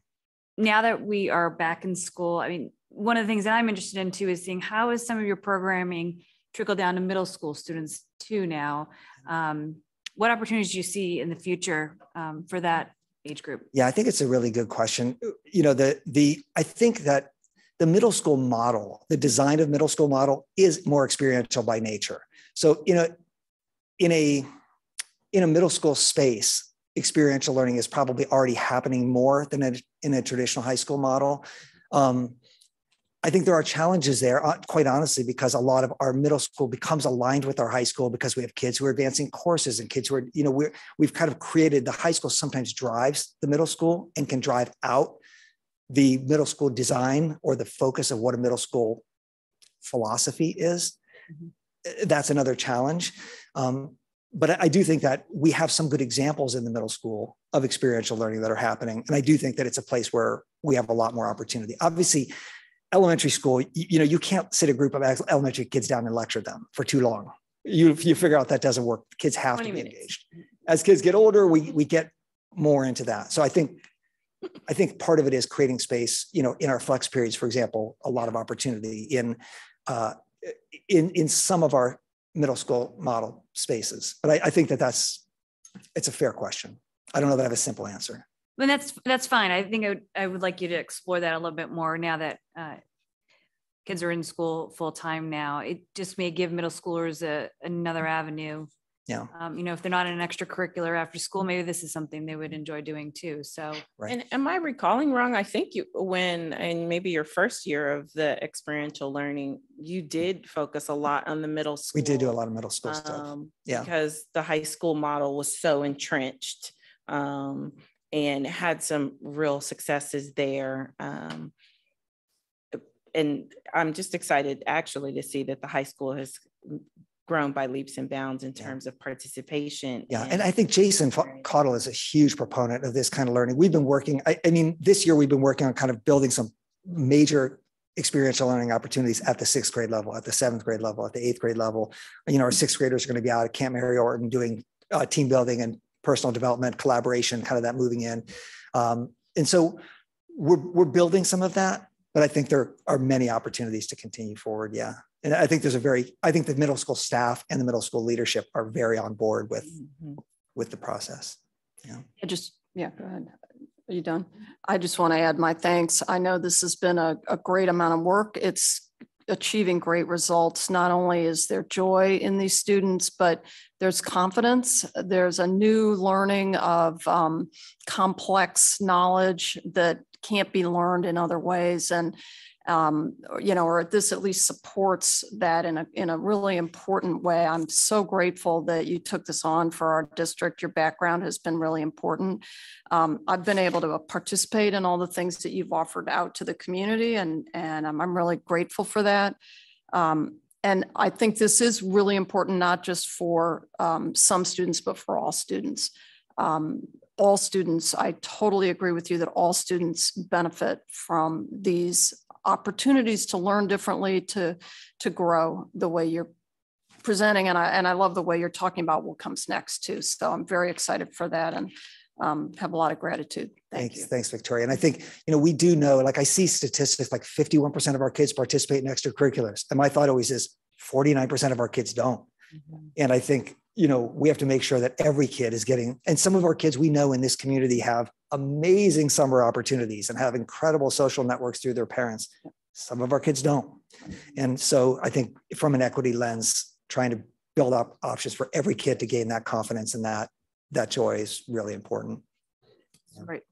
Thank you all very much. Yeah. Thank you. Quinn? Yeah. All right. Um, so I just have a few comments about this. The first thing I want to say is I really want to express how grateful I am. And I know the entire student body is really grateful for all the new learning opportunities that we've had in the past few years. Like I've no, noticed a significant increase in like cool learning opportunities that I've had and all of my peers have had. And I also think like we were talking about uh, high stress culture and uh, academic achievement culture. I think opportunities like this and integrating them into our learning is a really good way to help combat the stress of like traditional classes. And I think it's a great way to have a break from the more traditional classes while also having great learning opportunities and just great life opportunities and like life experiences that like i mean just myself uh, i've had some really cool opportunities that have definitely made me realize like what i want to do in college or after college and i think that's the same for a lot of my peers Thanks for saying that, Quinn. I, I, I'm sure you all read the article about the Women in STEM group at the school, and Madison Ingram was talking about, you know, building hot air balloons and trying to figure out how to make them work and like designing this project. And it was just experiential learning happening that kids were running and designing themselves, and there was clear joy and enthusiasm and excitement for it. And so I appreciate you saying that, Quinn. I know having spent 30 years doing this kind of work with kids, I know how fun and exciting and meaningful experiential learning opportunities are for kids. And so that's why I have the passion that I do for it. Thanks.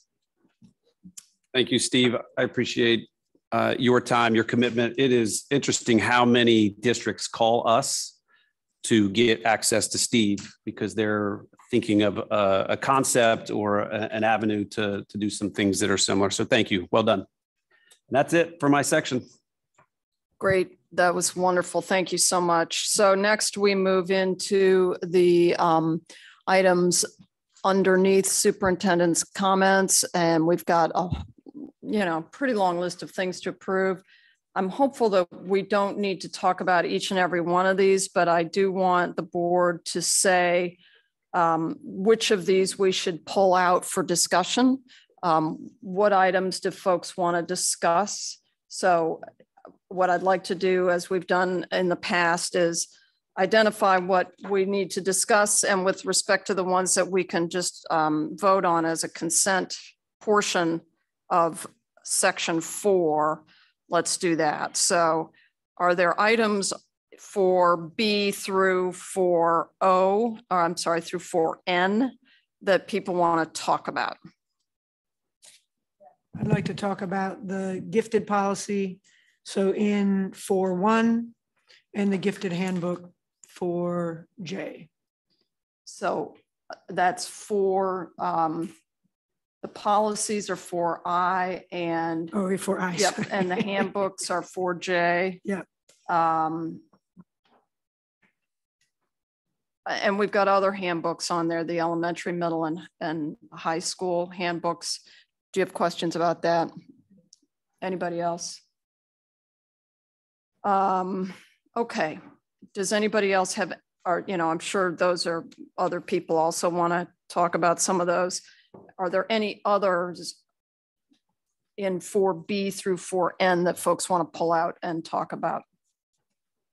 If not, I would like to um, ask for a motion to approve items four B, four C, D, E, F, G,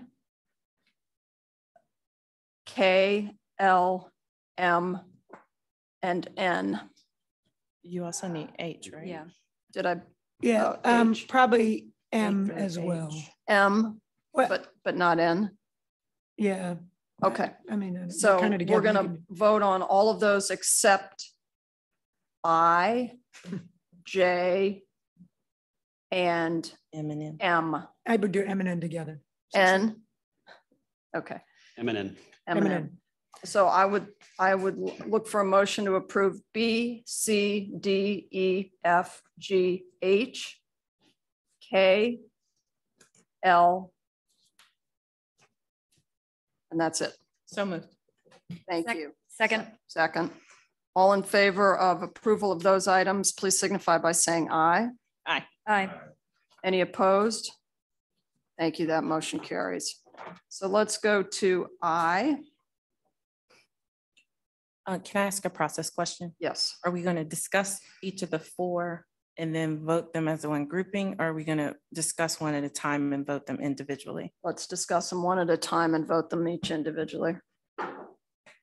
Unless, I mean, that would be what I would, It, it doesn't matter to me. I just want to know what I'm Yeah. doing. Well, for me, I'm gonna, the only one in the under I that I really want to talk about is the IGBB policy. So I don't, I- does that make sense? let's start with the resolution, just because it's the first one. Um, we have a resolution before us that, um, uh, would permit us to meet remotely as a group if there's a reason to do that, or, um, have a- any board member who cannot be at a meeting to, um, participate remotely. The change from our policies is that that board member would be able to vote. Um, As our, as our policies currently stand, you don't have to be here. You can, you can participate remotely, but you can't vote. You don't count for a quorum. And there's a couple other things I think that apply. All of that would be lifted through June 30th. So um, that's what this resolution would do. It would lift um, the in-person requirement for our school board meetings and for our voting. Um, Any discussion of that resolution? Kyle, I know you'll stop me if I'm doing something goofy. Um, Send up flares. I see him worrying over there. Um, All in favor of, uh, I, I feel like we should treat this resolution differently. Is that, My, my belief is, just like you did with the whole section four, talk, are there, is there just one policy that needs to be s- discussed? I'm Um, taking this one separately because it's not a first read. That's the only reason. Is that, does that make sense to you? Let's vote on this one, then I'll call the question on the resolution if there's no discussion on it. All in favor of adopting the resolution, please signify by saying aye. Aye. Any opposed? Okay, that motion carries. Thank you. The rest of these, let's um, just identify the ones that people have questions about or want to talk about, and then we can take them all as one. Um, Okay, that's fine. We can, okay. IGGB. I'm sorry, I'm pulling up the wrong You, one. you mean IG double B? IGBB, yeah. Lot of Bs going on. So what I know about this policy is that it is intended to, um, so we, we spent a fair amount of time talking about this policy in our meeting. We talked about it in two meetings, in fact. Um, As a kind of a broad brush, it is intended to incorporate into our board policy the work that was already adopted um, in terms of, you know, following the, the committee, the task force that looked at um, gifted learning offerings. Um, And so this, uh, this change to the policy would put those items into our board policy around what is um, offered or can be offered. As you guys probably know, we are required to identify students who are gifted, and that's all set out in law. We are not required to provide these services, but we are required to have a plan for what the services will be. And that's what is new in here is adjustment to the plan that we are required to have um, to reflect those changes that we made, um, you know, a couple months ago, maybe. Um, the other changes here were um, an attempt at uh, looking through a- an equity lens. There was some clarification. We actually tried to make some changes that we ended up not making because when we previewed those with the Ohio Department of Education, who reviews our plan annually and approves it or does not, they um, told us that it might not be good to change in our plan the language that came out of their, um, out of Ohio law. So the changes that were, we started with were changes to adopt the um, changes to our plan that would provide different kinds of learning uh, at different age levels. The other changes, some of them we stuck with and some of them we did not stick with because of the input we got back from the Ohio Department of Education. So Education. they said that our changes didn't align with the state law or with what their expectations are, the language. Yeah, it's, it's more that. And, and honestly, we had a Was lo- it not aligned with law? and No, that's it the was, reason? uh, you know, so it was, it was language that we wanted to change and I can, I can tell you what it, what it was. um, That we thought was more inclusive. And it was proposed to us by our Director of Diversity, Equity and Inclusion. You know, he was with us and we were working on this. And we liked the language. The Ohio Department of Education didn't like it. The first question that we talked about was, is, do we legally have to have exactly their language? And, and the answer to that is no. Hmm. Um, so, you know, this is a first read. We can still consider adjusting this language a little bit. I think the group, you know, had a hard time deciding how to come out on that. And I'm not sure that we concluded that, you know, my personal view of it is that um, I'd rather change the language and I don't think we have to not change it, but I'm not dealing with the Ohio Department of Education every day.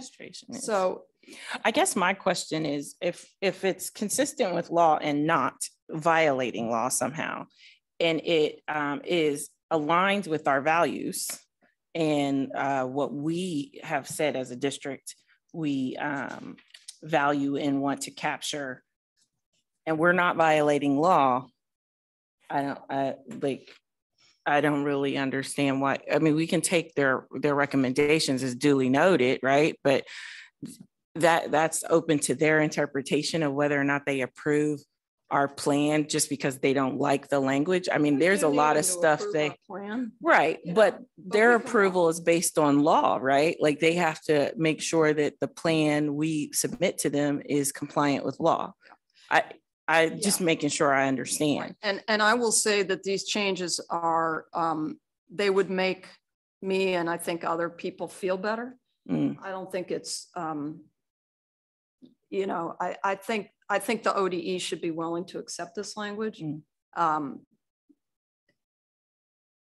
It's not a whole rewrite of the, of the document. It's a small. Small things. Change. Mm. So I I just just think that's a little of- heavy handed on their part. It's easier for them. right? Yeah.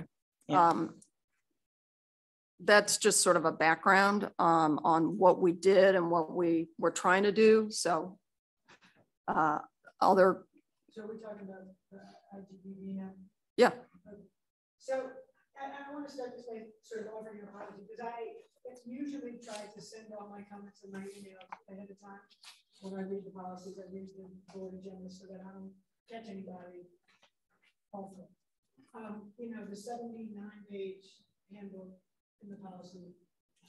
I read, I looked at the number of things I wanted to write about. I did not have the time to put together. Hey, your microphone's not on. Thanks. To pull together in this time. So there's going to be things that I'm going to share now that to some degree I've maybe shared with Jason when we talked Monday, but I didn't get a chance to send an email.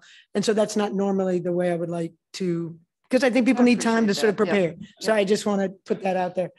And when we're just talking about the gifted policy on page three, there's sort of a, and I know this is a conversation and it might be what you're referring to, that idea of difference between being identified and classified, right? Like an identity is who somebody is, right? And I find that problematic that we are identifying, like you are gifted, that's who you are, right? As opposed to there's been some assessments and you're classified in this gifted category, and that means X and Y and Z when we think about how we're going to provide education. That's language I'm not super comfortable with.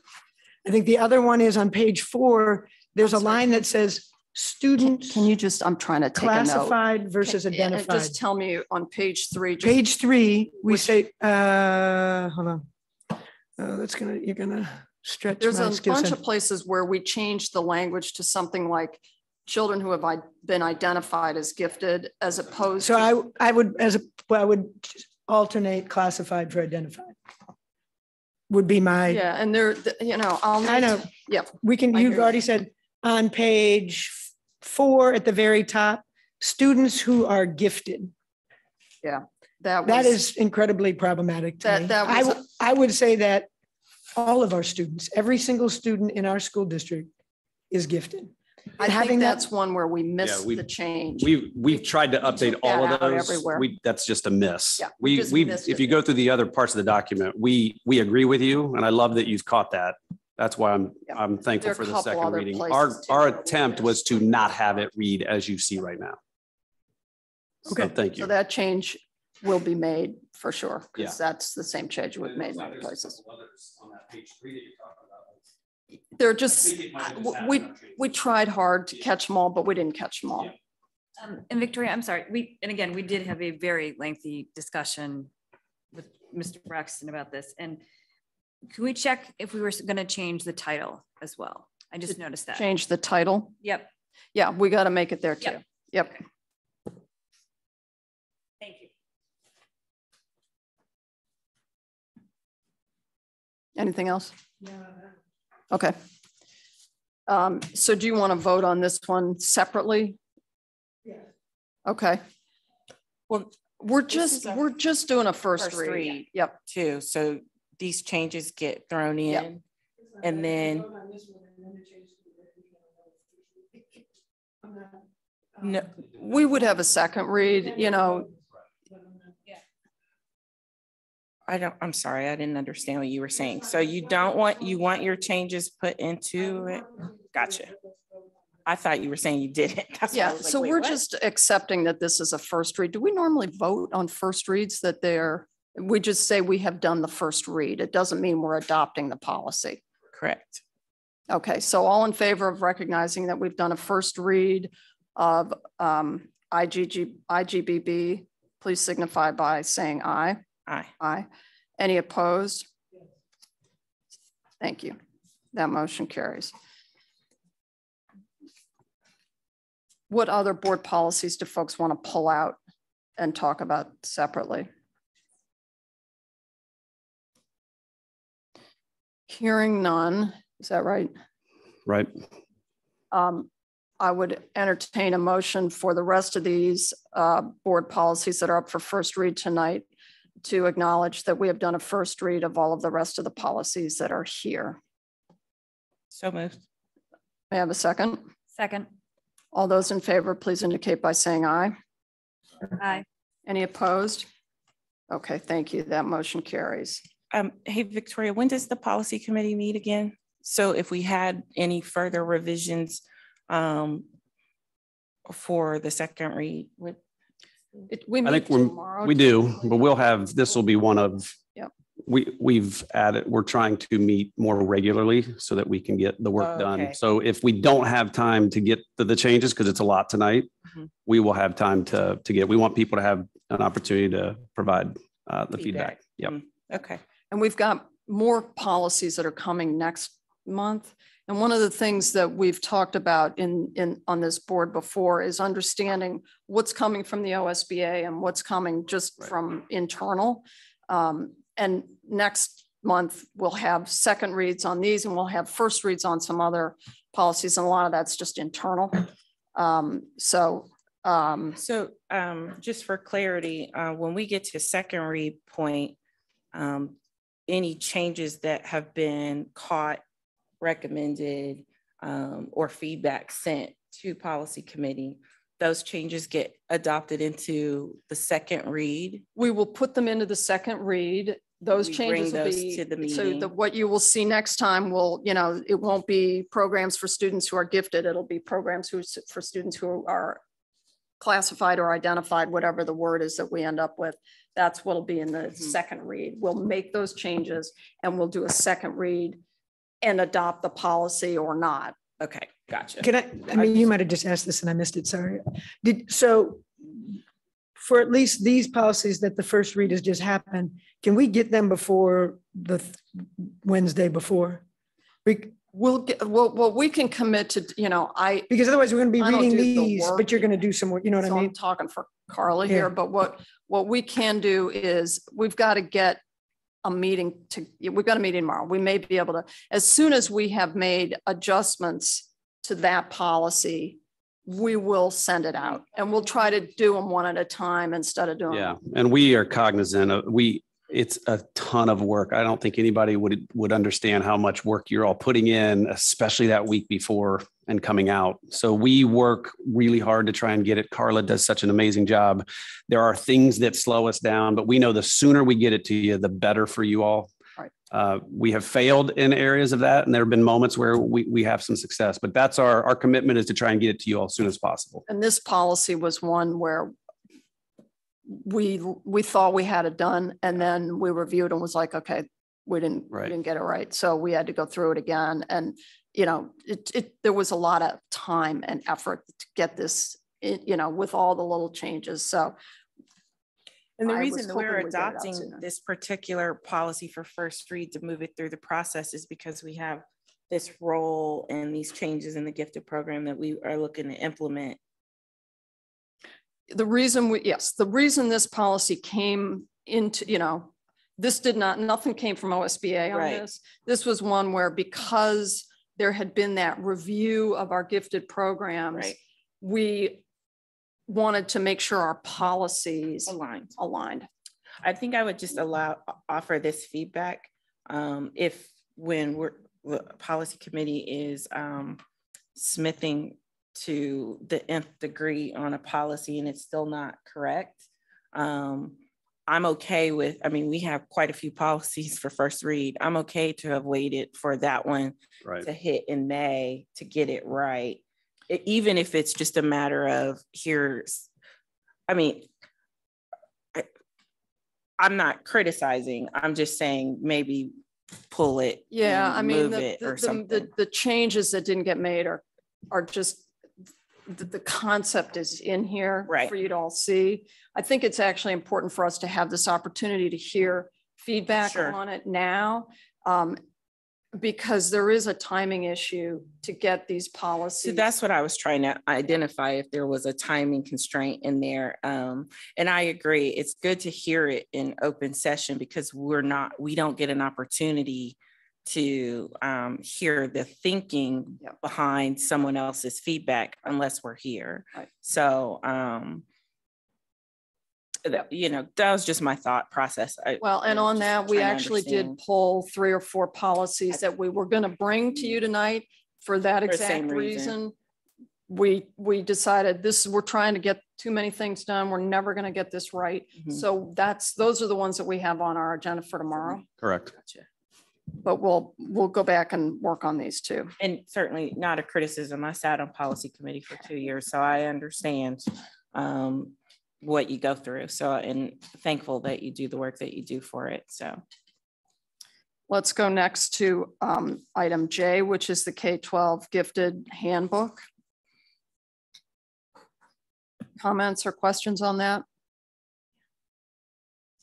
Um, so it, it's kind of an interesting juxtaposition, I think, between Steve's um, conversation about experiential learning and the ways that our gifted um, program is structured. Um, and I, I looked through the gifted handbook and I did, I didn't read every, every single word, the document word for word, but I focused mostly on the areas where the changes were being made. And I reviewed it alongside the equity policy um, with the goal of educational equity in mind, and in particular, the part about establishing an environment where, where students feel they belong, right, and valued and supported. And sort of a belief I, you know, if you think about systems change and systems learning, that systems produce exactly what they're designed to produce. And right now, our district is struggling to remedy long-standing opportunity gaps. And our data around gifted classification, special education classification, honors and AP course placements would indicate that these programs do not reflect our student body. Um, and while I see an effort towards equity, the flexible math groups, for instance, right? Mostly the handbook seems to just make adjustments around the edges, but did not engage in the deep critical deconstruction of systems required to investigate where inequities originate. If we want to do real equity work, then when we're looking at policies and handbooks, you got to look down deep where the hidden curriculums live, where the inequities start. And so this policy, because it's just playing around the edges, right, leaves an indication that our systems are currently working. And then we either have to believe that these disproportionalities that exist are the result of students So where specifically in, in the handbook you? have- Oh, I'm not even gonna get into the whole play by play. No, no, no, I just, because we're, Um, I'm just, so I'm, I can, I'll get down there in a second. So if you want to look on page thirty-four. Okay. About preparing our students for the test, well, the handbook dissuades preparation. It does not address why students might feel, why parents might feel preparation is necessary. you said thirty-four. Page Yeah. thirty-four. Mm-hmm. A belief that their child will be seen differently or receive a different kind of education if they are somehow classified as gifted. This same fear is what causes third graders to cry when the test results come back and they're not classified as superior cog. Because a nine-year-old knows, just like their parents, that without that classification, their education experience in Bexley will be different. So we are required by state law to test. The state, I'm just, I'm trying to address that point that you just made. The state requires the test. It tells us what um, tests we can use. And it, it, it mandates this 95% piece. I mean, all of that is just coming from state law. Right, I, I understand that. What I am saying is that we have a culture in Bexley that says kids who are superior cog, kids who, who are classified as gifted are treated differently, have different opportunities, are differently valued. And I can look at it just through the do have lens. different opportunities. I, I, Right. I- yeah. And if we look at the teachers that they have access to and the curriculum that they have access to and the expectations that they're held to around who they are and their intelligence, it's quite different. So even the six kids that I walked alongside, I got two superior cog, two were identified as gifted in certain content areas, one typical and one special ed. Mm-hmm. And I can tell you by far, the two who were identified as gifted had vastly different educational experiences Bexley, were treated differently, right? Left with a different sense of self than the other kids. We should not be creating and re- reinforcing a system that values some kids better, differently than we value others. So I'm not saying we don't classify. And we don't, the same way we classify kids as special ed, and we respond to their needs. I'm not saying that. Nor am I saying that we should have kids do curriculum or uh, do curriculum that they already have mastered. I'm not saying that either. But we have a culture that values kids differently based on that classification. We surface it, we, we talk about it, we, if you have a nine-year-old who cries because they didn't get classified, they already know that getting pulled out for that gifted class means something differently. And, and this, all of this to me is incredibly frustrating, right? And what we do to kids who don't get that classification is even more frustrating. Right? So this is a document that says these kids somehow are worth more than the rest of the kids in our district. Right? And it reinforces that system that we have created, a culture we have created around achievement, a culture we've created around gifted identities, right? And what those kids deserve as opposed to other kids that I'm not comfortable with. I And. I think that this handbook, had it been done really deeply through the lens of the, the equity outcomes that we're looking for, would look and sound different. So I think part of what I'm hearing is that as we go forward to do our equity plan and our strategic planning, you know, more broadly, that um, making sure that we're thinking about, you know, about the issues that you're raising should be part of that.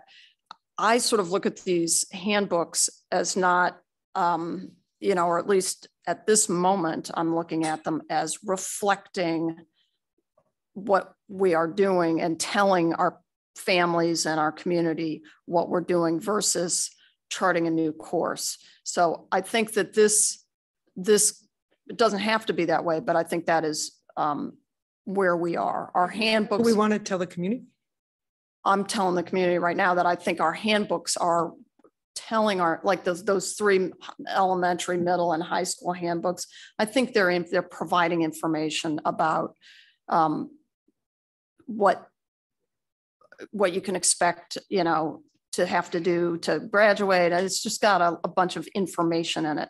I, I think you're, to, what I'm thinking, it may not, I don't want to, you know, I can't speak for you, obviously. So what I'm feeling is that we need to be looking at these issues, and that's a big undertaking. Um, and I think it might occur best as part of the strategic planning and the equity planning that we are about to embark on. Um, so I'm, you know, that, that's just a response that I'm offering as you discuss your issues here. Um, you know, maybe adding my thought is maybe we need to look at that in a broad way as we go through that that process. Yeah, I would offer we absolutely need to look at it broad way. And I also worry like we plop a 79 page document, you know, with, well, to us, but that's sort of separate, but also to educators, right? So what is the infrastructure for implementation, right? What does that look like in an individual classroom teacher? Right? How do they implement it? And in what ways? Like there was a whole list of differentiation strategies, right? Yeah. And okay, so that's awesome. How, what supports are in place to make sure that that's happening? Because those, those are not gifted strategies, right? Those are good Right. teaching strategies, right? Those are good teaching Right. strategies for all students. Mhm. So are those strategies just living in the gifted classrooms, or are those strategies just living in the spaces where gifted kids are clustered, or are those strategies that we are saying are going to be present in all classrooms for all children? Right? So I, I am concerned with the message that this sends because it is alignment with the culture that we've created that I'm not sure is serving all students.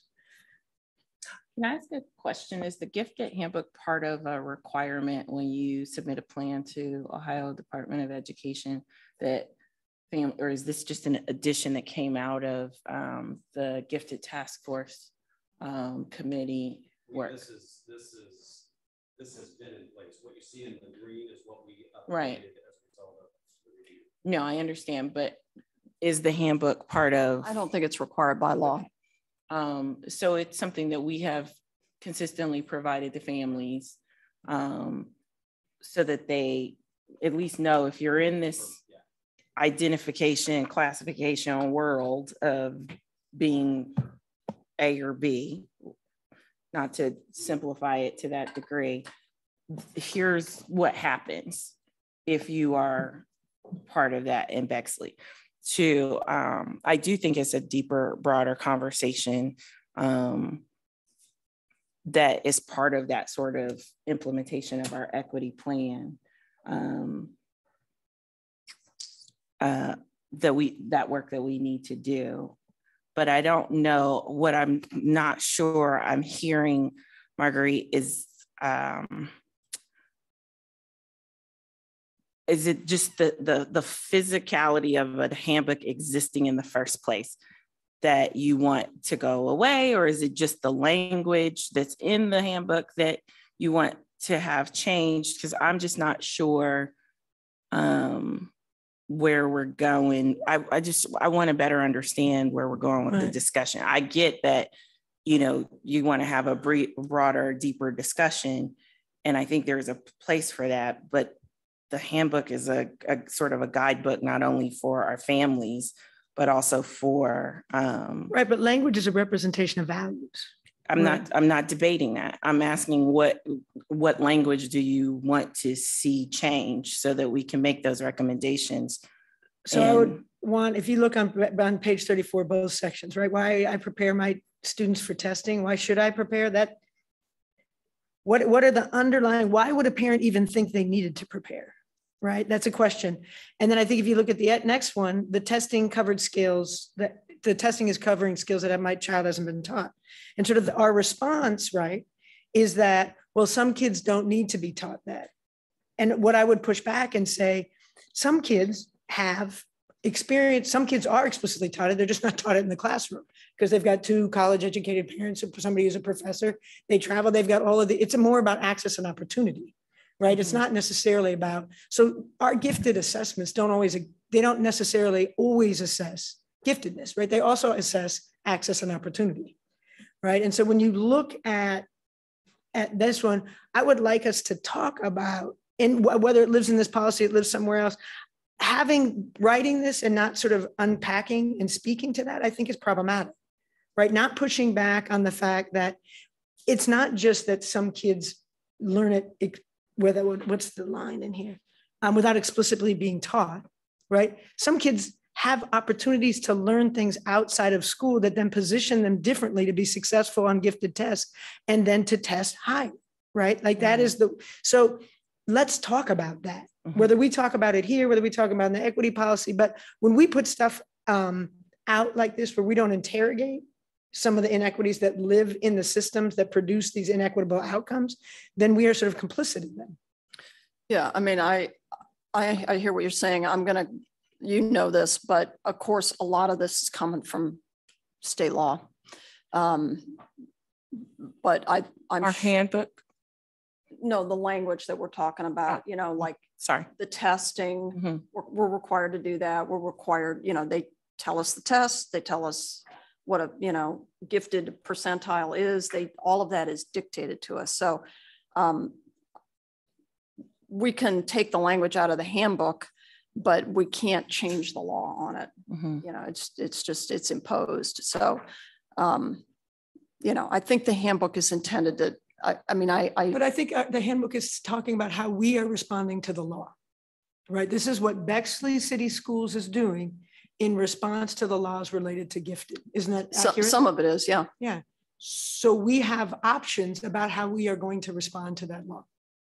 I'm not sure. I don't currently feel like this document is representative So of I the think that's where I'm asking Right, what, that's- what options or language gets us to a point where we inform our families of information that, I mean, some of this document, this handbook has had some iterations, have come from just feedback from our families saying, you didn't tell me about this, or we'd like to know this information.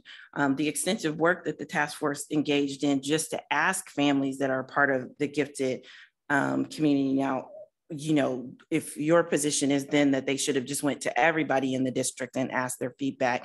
No, I'm just saying as a, as a, as a suggestion to get more feedback. Yes, we could have done that, but we were specifically speaking to that particular audience, those teachers that, uh, you know, all of those folks gave this hand feedback that goes all into this handbook. So all this document does is say why you should prepare your student for a test. We get that in newsletters when we have state testing every, we have state testing all the time. We get in- newsletters, make sure they get a good night's sleep, make sure they have a, a breakfast and make sure they have a good meal and don't stress them out. Like they give us tips. And so I look at a handbook in that regard. To your point about value statements, words do matter. And so I, I'm, I guess what I'm trying to understand is what language you want to see or, you know, be added into this document that supports our value system. And I think what you're saying, Victoria, is that's where that conversation will take over into development of our plan and equity.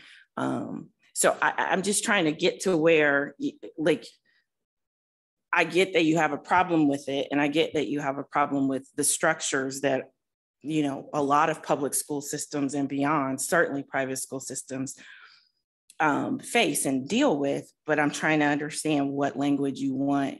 What am I voting for? Like, if you pulled it from to vote to vote and discuss, what do you want to see? Do you want that whole line struck? Like, what what um, edits do you want changed? That's So I, I- I'm, I'm happy to offer some edits. I Mm. can't do it right now today gotcha. in this meeting, which is kind of what I said at the beginning. Which is why it's the first read. Right, and that's, but it, it's a first read of a seventy-nine page document that we got five days ago. So I have Mm-hmm. three pages of notes, probably not ones that I would submit right this second today. Sure, sure. And, and you Um, don't have to submit them to me. I'm not so- demanding those. I'm just Um, saying but I if think there's that what I'm offering is that there's some room for growth gotcha. um, in embedding equity lens into this handbook. Gotcha. So let's, um, you know, if you've got specific changes to this handbook, why don't you get them to us and we'll, you know, get them to Dr. Fine and we'll figure, you know, look at those. Um, don't know whether they can be made or not, because, you know, Right. I'm not Well, in I'm not charge of it. that and, but, but then we, What's the timeline for when we circulate the handbook in the first place? those go, we try to get those out because course, uh, course options are happening. When I think about this handbook, the elementary, middle and high school, especially the upper grades, we want that in the hands of our families so that they have access to refer to as they're making some of those decisions.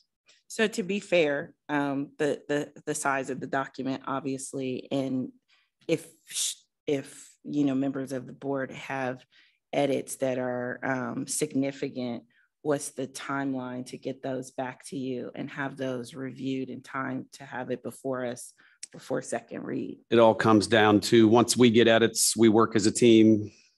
We make those changes. It, however long it takes to get to us, then delays the time I'm going to get it to you. Hmm. So, but we're, we're flexible. We, we want to work together. Uh, it, it, it compounds the issue that you've, ex- you've experienced in the last couple weeks where I've got five days to read all of these things. Mhm, mhm. So as soon as we get the ability to update, and I would want to work with our team and, and uh, get your feedback, I'm trying to it think. comes when- down to how fast we can get it back to you. When to did you. we first get the edits for the gifted handbook? It was a few weeks ago, Don't remember. I think it was in a weekend update. Yep.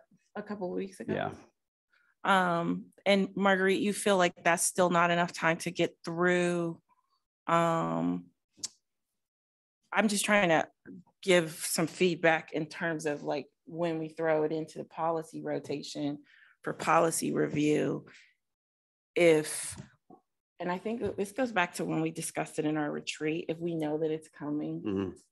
Like- I missed it. I only look at it, when- I only, whenever the last Friday. it- the handbook has been in our weekend updates a at least a couple of times, I think. So, um, As soon as we get them, as soon as we get our drafts, we will make sure you've got access. Ye- ye- Huh? Yeah. Whenever. You, Or it may even be in Yeah, a, this, this may be in a separate email. And I'm okay with just a call out like, hey, this isn't coming Right, on Wednesday. correct.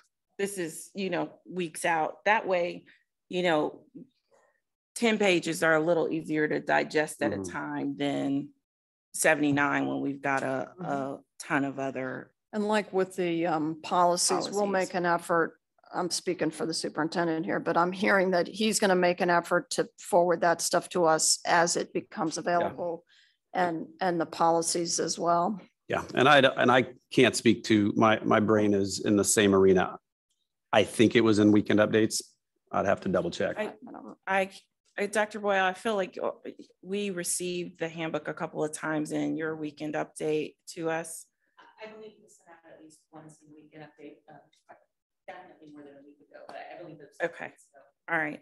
Um, just, that's just, you know, some Yeah. I, feedback I think might be helpful when we're um, looking at like a really big document because then Sooner that better. gives folks time to really digest what we're being asked to, whether we vote on a Sure. first read or not. Right. Um, hey, here's some updates to take the policy committee, which I think are really profound.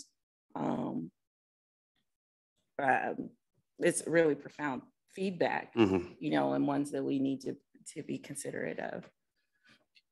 All right, um, good discussion. Um, I would like to entertain a motion to, um, acknowledge that we have had a first reading of the, um, handbook that is at, um, four J. Is there a motion?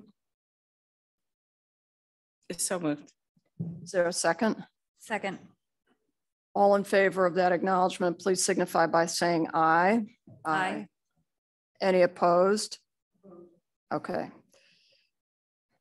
Thank you. That motion carries. Um, Next is um, M, approval of the um, Public Information Officer job description. I think I asked for this to be pulled out and I think it was kind of by mistake. I just want. Um, I, I, I think we, and I was like, I think we already talked about this, but I wasn't sure, just about the, so we may not really need to pull it out. It was really just about the language around, we're combining the two. You talked about it. Yep, So I think I yep. pulled it out and then it was like, That's I fine. feel like That's we all already right. talked about it. So That's we can fine. unpull it out. That's or fine. vote Very for. I do note that there's a, like a typo or two in there that I just, Mhm. I'll, Perfect. I'll give it to you. Great, thank you. Um, So let's vote on that one, um, acknowledging a first re- re, and oh no, this is one that, so my comments, my changes are just moving a comma, really. Right. And then a couple of things where there's plurals, just for consistency. Yeah, So there's easy. no content, no substantive change. Um, do I have a motion to approve the PIO job description that's at four M? I make the motion that you, that uh, grammar errors um, be made And then, and then, and then approved. and then yeah. we, we can approve it now with those. Yeah. Okay. So moved. A second? Second. Do we have time for questions about this? I'm sorry. Yes, I thought we were done with that. I apologize. Yes. Um, So assuming that we were to pass or approve the, the language here, um, what do you think would be the timeline for posting? Yeah, the goal is to post, I would say, early next week. We're processing what that process will look like. Um, We're going to send it out to lots of avenues. Uh, We're, we're hopeful that we will get somebody that can come in here and do, it's not an easy task. It's not an easy job to come in and do the things that we have expected from Tyler and Gianna combined. Yeah, and I think that we definitely want this kind of hand in glove relationship between the district and the Ah, successful Allerton. candidate for this, Right. this role. As things happen quickly, would be clear. Um, I, I'm also looking at this relative to our other financial Mhm. concerns, right? And So, so I'm looking at this position and a few others and how, I, I think we have a retreat coming up here. I think I'd like to have a more conversation about how this fits in with other, The public information officer? yeah. I think the conversations that we're having about the current structure is, is really important and, and I welcome the conversation. I think the public information officer, the funding is there. It is a, we will not function without the public information officer uh, coming in, that's effective to come in and do that work. I don't see a world where a public information officer is not part of, of this makeup. But I welcome the conversation, love the conversation. Um, Taking the, the funding of what we've been paying our public information officer, taking what we've been paying Allerton Hill and the firm. I, I see a world where we will be spending less on uh, communications compared to what we have been. Uh, But once we see this play out, we'll know more. Yeah, and I think kind of comparable to the conversation about the gifted uh, handbook. So I think we'd almost kind of take a step back to see how it reads. Mhm. So, you know, otherwise we just kind of repeat the cycle of making minor edits and keep on going, right? And so I think the same thing here, like, okay, let's take a step back and just think about our uh, core executive positions. Mhm. You just think about those for a second, okay. And then, yes, like, PIO makes total sense. But if we don't have a time to kind of pause, we just kind of keep on repeating Right. over and over again. So I'm just kind of pausing and thinking about things a little bit. Yeah. Any other thoughts or comments on? Um, so we had a motion and a second. All in favor of approval of this revised job description, please signify by saying aye. Aye. Aye. Any opposed? Thank you. That motion carries. And then the last one that we pulled out is the exempt salary um, range. And this document has been updated um, to move the PIO position from exempt level three to exempt level four, which Dr. Fine already talked about uh, in his um, remarks, uh, just permitting us to um, essentially um, increase the opportunity that the pay scale for that position, um, recognizing that we believe that we would eventually save money from reducing or eliminating our contract with Allerton Hill. Th- Did you, does anybody have any questions or comments on this one? Okay. Um, So I will, That's the one she pulled out though. She wanted Yeah, to discuss. I don't think. Oh, she oh, did. that's the. I think we're okay. good, right? Yeah. Sorry. You're good. Sorry. We had talked about it and then Jonathan. wrote Yeah. Okay. So I'm glad we pulled it out, but Okay. So um, a motion to, Before we get a chance. no, thank you. A motion to approve um, 4N, the revised exempt salary procedure. So move. Thank you. And a second? I'll second. Thank you. Uh, All in favor, please signify by saying aye. Aye. Aye. Any opposed? Thank you. That motion carries. Can I just, before you go on to the next one? So I looked through the April first, I looked through the April eighth. The first time we got, we did get a bunch of, Harley sent a bunch of um, handbooks on the sixth, but the first Yeah. time that I can see in my email that we got the gifted handbook was on the seventh, which had been last Thursday.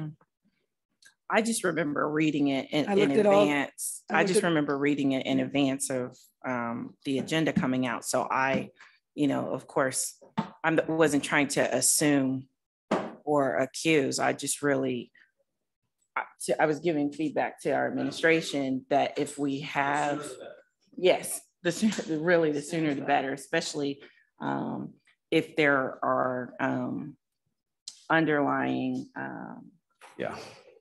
Issues that we want to address and, and call to question. We want to make sure that things like as simple as our handbook are aligned to everything else that Mhm. we're doing. Sure. So Yeah. All right, thank you for all of that. Um, Mr. Smith? Thank you. I'll be brief. Uh, just now noticed this too. Sometimes when you copy and paste things um, from one agenda to the next, we're approving the March financials, not the January's. Um, Thank you. so this will, will change that. Yep. Um, the attachment is the March. Um, nothing too significant, um, s- standing out in the March financials. We, uh, find, we have our final property tax collections, uh, that came in at the very end of the month, uh, doing just a little bit better than forecasted, which is always a, a good thing.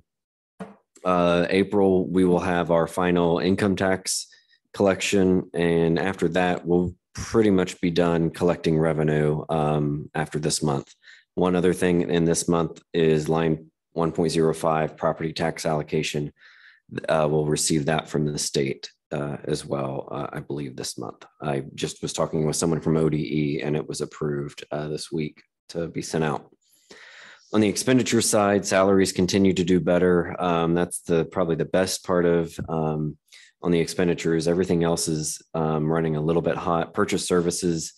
Um, oh no, I'm sorry. Supplies and materials is doing better, um, but that is going to be a timing thing. As near the end of the year, things really pick up, and we've got some um, expenditures coming our way in that category. Um, and then just to address a couple of things that that's been mentioned tonight, Ms. Powers, you did a wonderful job explaining 126. Um, I, I don't think I have anything further to say. Um, House Bill 601, which was the pension reform, just so this board knows, that would cost this district 900 to a million, 900,000 to a million dollars extra by the time it's fully implemented. That's phased, right now it's phased in. I think it's very early in in its existence. Um, The bill. the bill, yes. Um, so that would be that that'd be a significant expenditure that's for us. House Bill six oh one. Yes.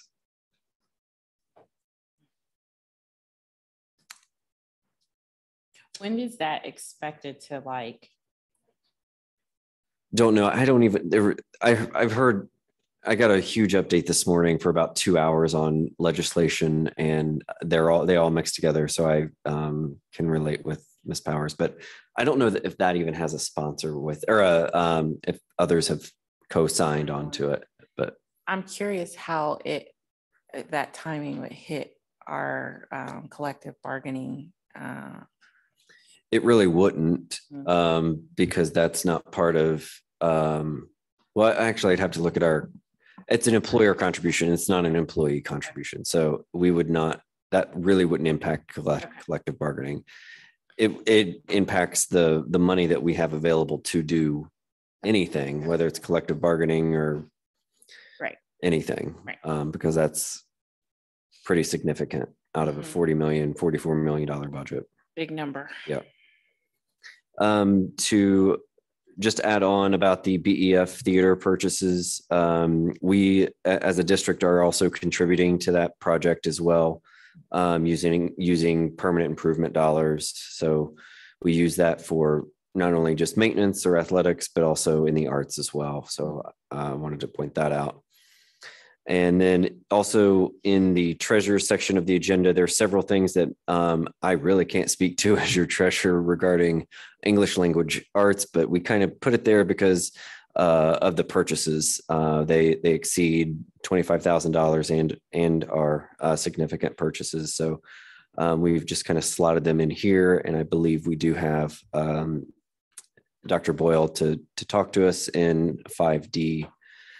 But before I do that, I'll uh, open it up for any questions um, on the financials, um, the renewal of the Meta service agreement. Um, I'll leave it there.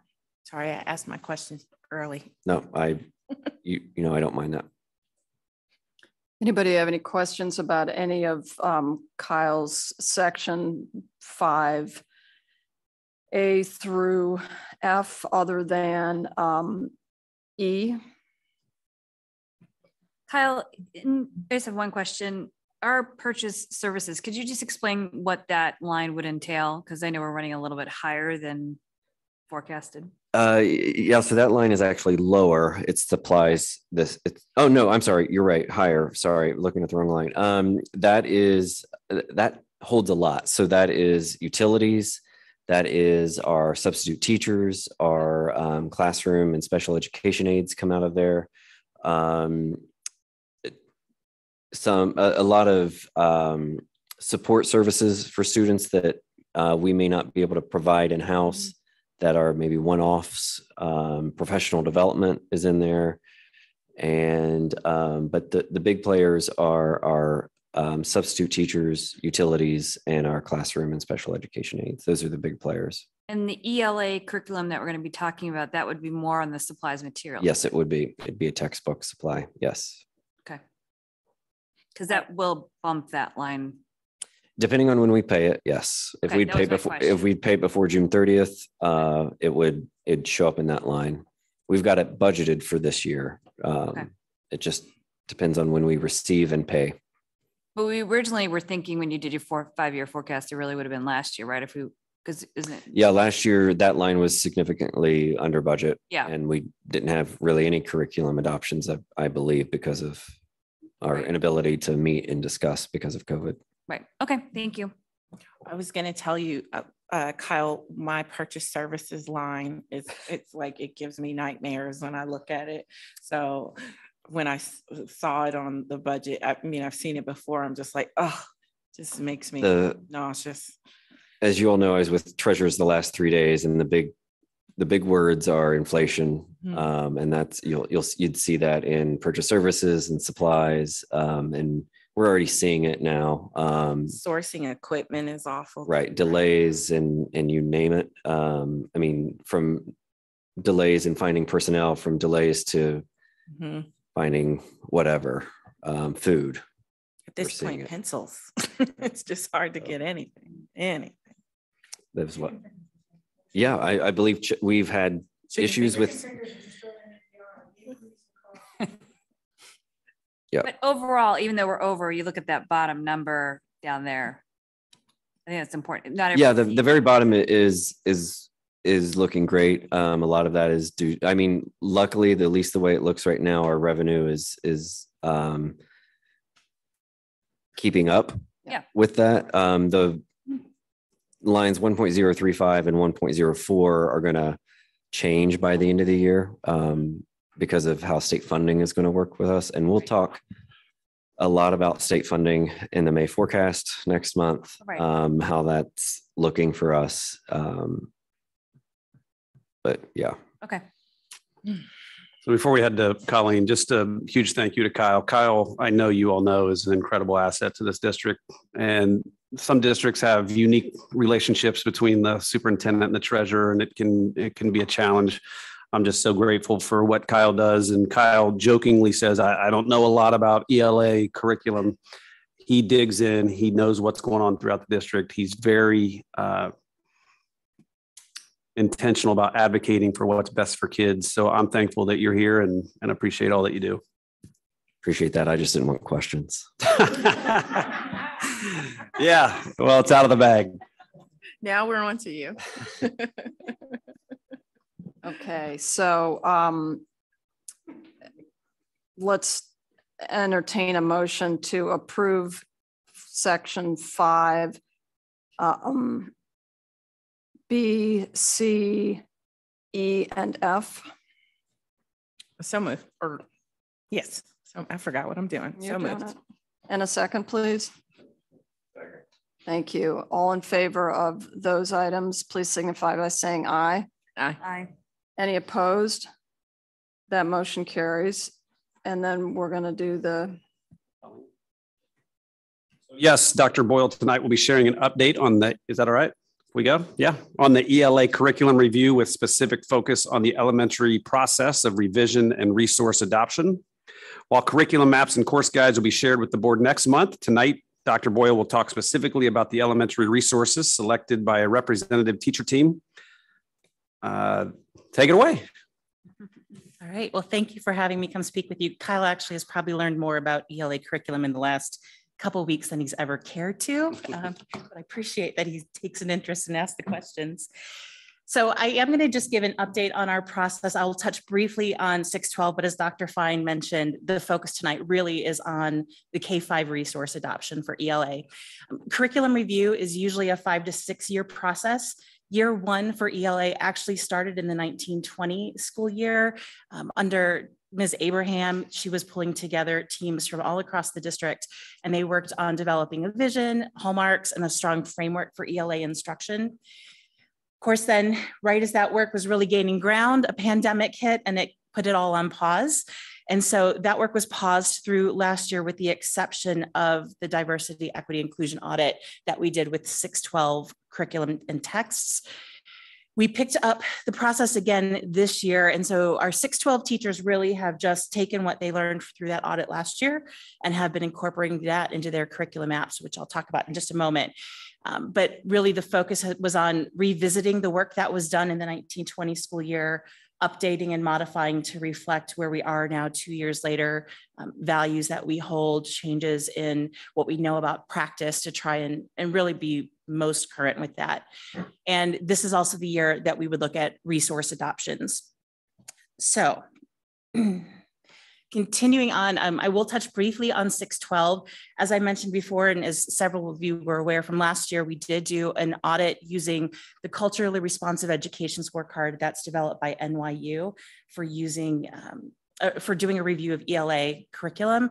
We focused on 612 last year and this year, our 612 teams have been working on updating their course guides and curriculum maps, making some changes to both required and optional texts for students and refining those curriculum maps and course guides to reflect those changes. They also have been working diligently on, as we indicated we wanted to do in the commitment plan, coming up with some common writing assessments that we can use across the board.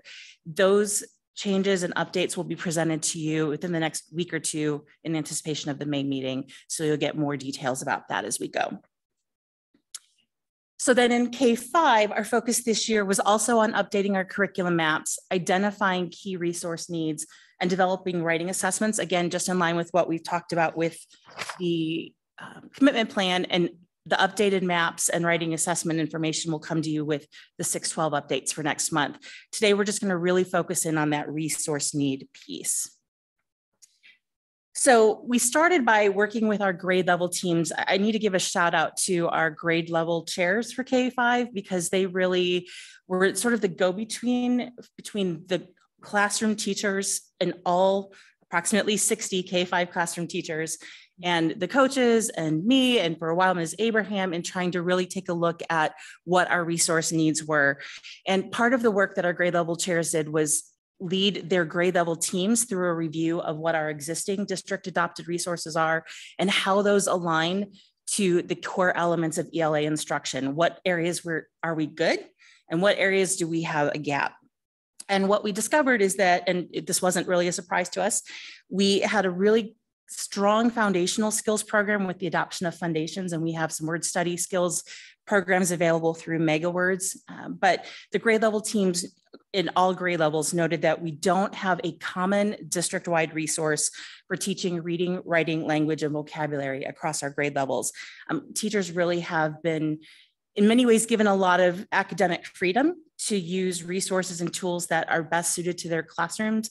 But the flip side to that is without that commonality, we, we can't ensure that there's some consistency of the quality of instruction in every classroom across the district.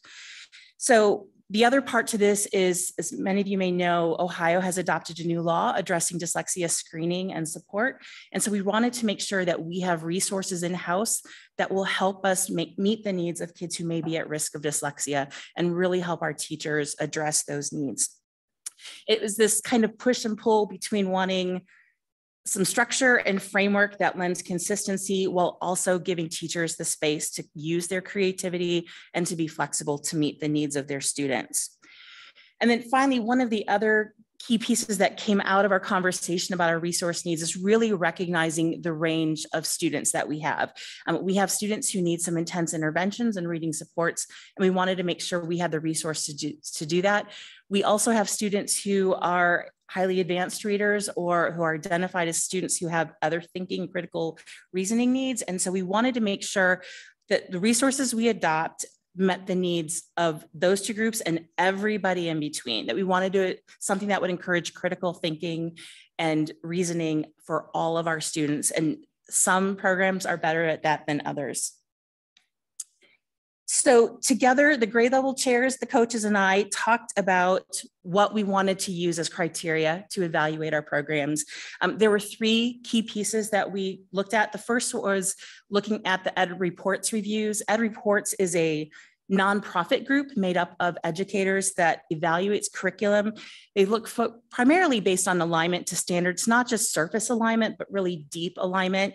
In ELA, they're focused on text quality and complexity. And then only programs that meet that rigorous review of text quality and complexity go on to be further rated for usability, both by students and teachers. Um, they're also looking to make sure that the programs develop knowledge through literacy.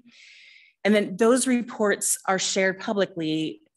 Ohio Department of Education and INFOhio have partnered together with Ed Reports to come up with this site called Ohio Materials Matter that really helps guide districts in choosing the highest quality materials. So those reviews were our starting point when we were looking at what programs we wanted to take a, a deeper dive with. The second piece that was really important as we were looking at choosing a program was being culturally responsive. And so again, we brought out the culturally responsive scorecard from NYU. It's the same scorecard we used with 612 last year. And we wanted to make sure we were applying that to programs as we were looking at them. And then finally, as the grade level chairs had worked with their grade level teams, they gave input on what they felt would be necessary and valuable in a program. And we developed an in-house rubric to rate programs based on the criteria that came straight from our classroom teachers who would be using this with our students. So we began with a list of 13 programs that included some that were highly rated, ones that we had heard positive things about from colleagues and other school districts, and some programs that teachers in our district had been using independently for periods of time. The grade level chairs, coaches, and I took that list and we narrowed it down to six based on a surface review. The six that we thought that just from first glance and looking at those Ed Reports reviews would probably deserve the greatest um, attention and real critical look. And so then with that, we brought our grade level chairs and a whole slew of other people to form our resource review team. In some years, we would have done a pilot because our teachers really communicated to us that they've got a lot on their plate and they really were looking for a representation of them to do this deep dive work. They, they, they were making it clear to us that they were kind of at capacity. So we brought together this representative team. You'll see that we have classroom teachers from every grade level. We also have included, oh, made sure that we had representation from every building. And then we wanted to make sure we had specialists that work with various student groups be involved with this. Um, our elementary specialist for English learners is not on that list. He was unable to attend the day that we did our review, but he did provide input to us um, separately that we then used in our feedback. So on March 24th, that team came together, but prior to March 24th, we communicated the information about the six programs we were reviewing to all of our K-5 staff. We also sent them a link to a survey that they could use to provide feedback and invited anybody who had any thoughts, questions, comments to please submit that to us and that we would include that in our review with the team. On the 24th of March, the team came together and did a look at both print and digital samples that those companies provided to us. It was really interesting as sort of an side observer to listen to their conversation. Um, each grade level and each member of the team did individual rankings, but as they were examining the materials, they were certainly allowed and encouraged to converse with one another. And it was neat to watch teachers point out different features that maybe their colleagues had missed or something that really stood out as stellar or challenging to them and have that conversation. Um, as we went through the day, we would dedicate a certain amount of time to each of the programs. And after they had their time to review, each individual person would then do a rating for the program using our locally designed rubric. And then they would select a random unit from the program to do the culturally responsive education scorecard. So that's how we were able to balance the two. After we went through all of six of the programs, we had a debriefing time at the end where we looked at what the individual ratings were. Um, everyone had a chance to share what they thought were strengths of the programs, what the challenges were. Um, it was, again, interesting because we had K5 there and some of our specialists to hear the different considerations that each of them had along the way.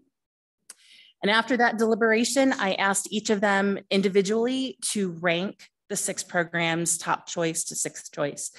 And I was expecting there to be some differences of opinion, but the first go round, we had a near unanimous top choice.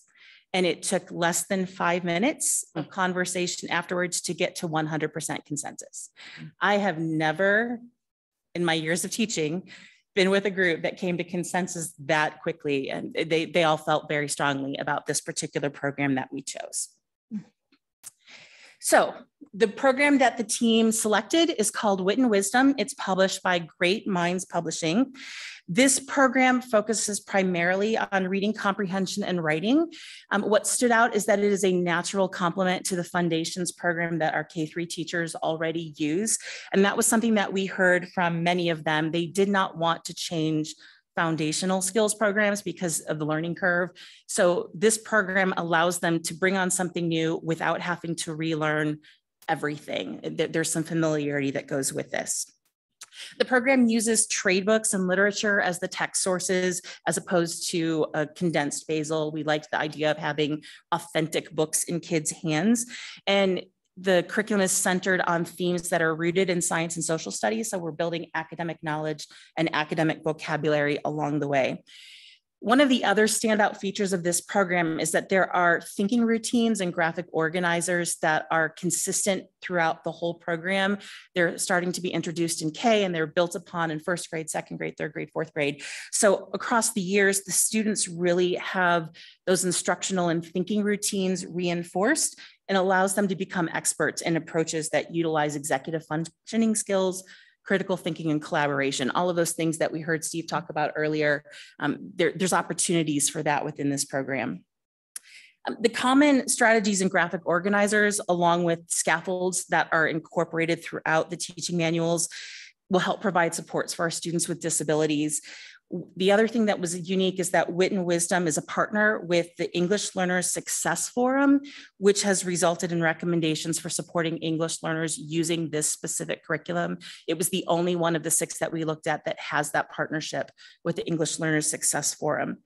And then additionally, the broad unit themes, the level of questioning and text complexity throughout, and the flexibility to bring in additional text at varying reading levels really allows our teachers to differentiate for our highest readers and our readers who need the most support.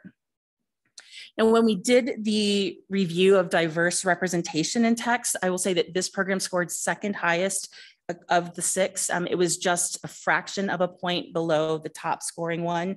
In full disclosure, all six programs were middle of the road. There was no stellar program that stood out on that culturally responsive scorecard.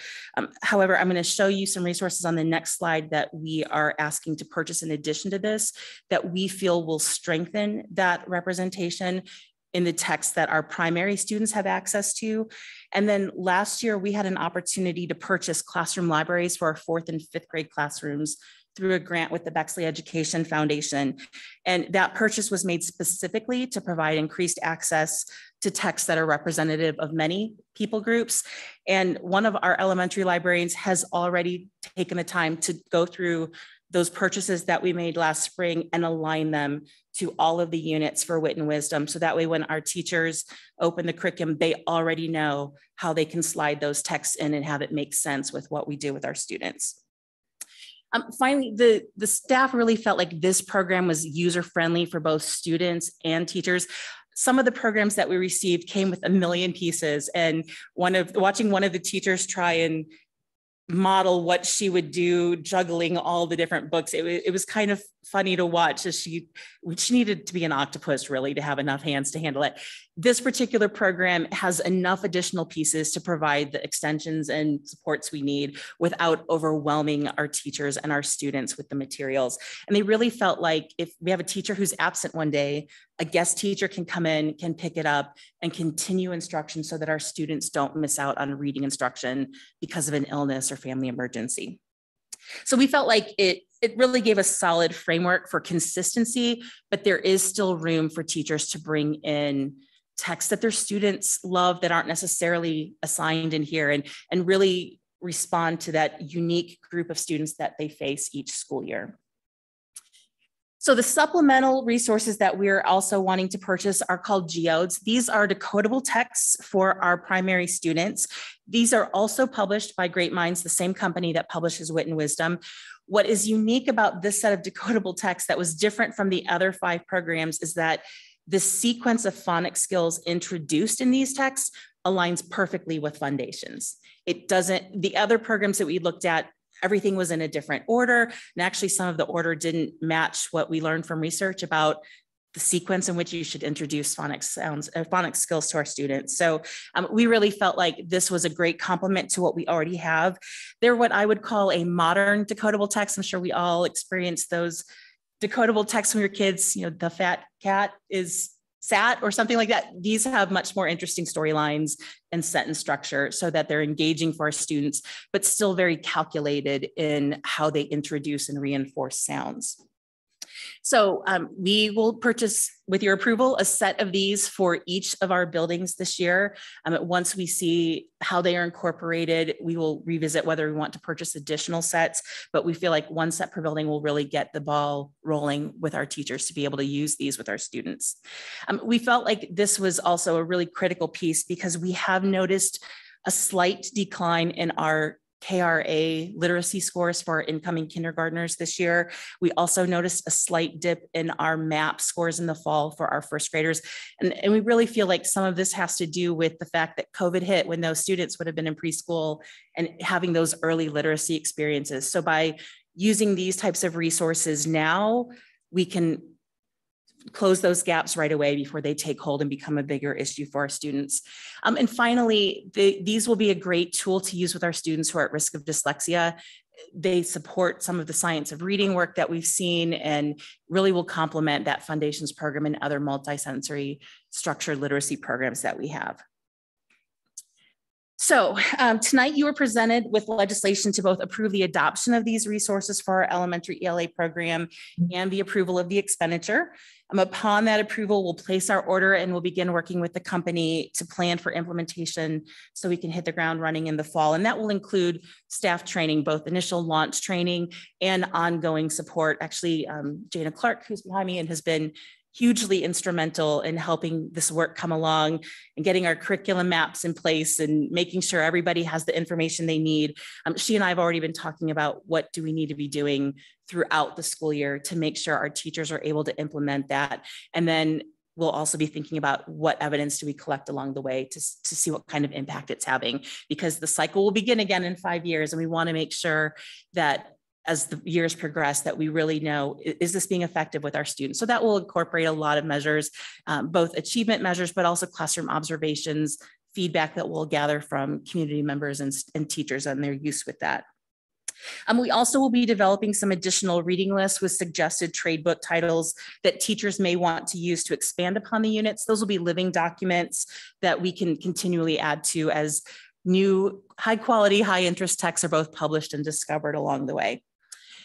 Um, one of the other things I mentioned earlier tonight that is also part of this process is we are working on our plan for implementing Ohio's new dyslexia law. Our district dyslexia team will actually have their first meeting tomorrow. Um, we will be able to do some preliminary work. We are actually in a holding pattern on the vast majority of it as we wait for the Ohio Department of Education and State Board of Education to come to terms with what the guidance will be and to approve the assessment so that we can decide what our screeners will be. But our team will be meeting tomorrow to start to make some decisions about things we can and anticipate other decisions to come. Um, but I, I, will say that we are really excited. Um, our staff is excited to have a new resource and to be able to have some consistency. And so we just thank you for your ongoing support of that work. Thank you so much. That's super helpful, great detail. Um, Does anybody have any questions about the um, proposal or the funding? Yeah, quick question. Uh, Thanks. That was super thorough. I appreciate that, Colleen. And I appreciate, I know you sent some answers to the questions I'd given before. I'm curious, um, how, oh, shoot. Oh, you, you, you, as Steve mentioned, and you reiterated that teachers are super overwhelmed right now. So I'm, I'm curious why this is a hugely complex process, mm-hmm. right? Where like you really want to get in as many voices as you can into the process because you're going to, because it's a big shift, right? People have been able to kind of do their thing and now you're asking them to do a standardized thing. And that's going to cause some feelings for people, particularly people who, who have been teaching the way they've been teaching for a long time. And now you're asking them to teach a different way. Uh, Having been an educator for 30 years, I'm fully aware of the feelings that exist. Um, or I can presume some of the feelings that exist. You would So- presume it correctly. Yeah. So I'm just wondering why it felt important to do this now when we know people are a little bit over it. Like how much engagement could you get when people are kind of feeling like, and then are you setting yourself up potentially for people's feelings to be exacerbated because they were too overwhelmed to engage in the process and now they're going to have to do it. So I'm just curious on what the, why it felt like now was the time. It's a great question. I will be perfectly honest with you. When we went into this conversation this year, we fully anticipated we would not be adopting a single resource for the district. We really felt like um, our teachers wouldn't want that. We thought that we know that they very much value their freedom and flexibility.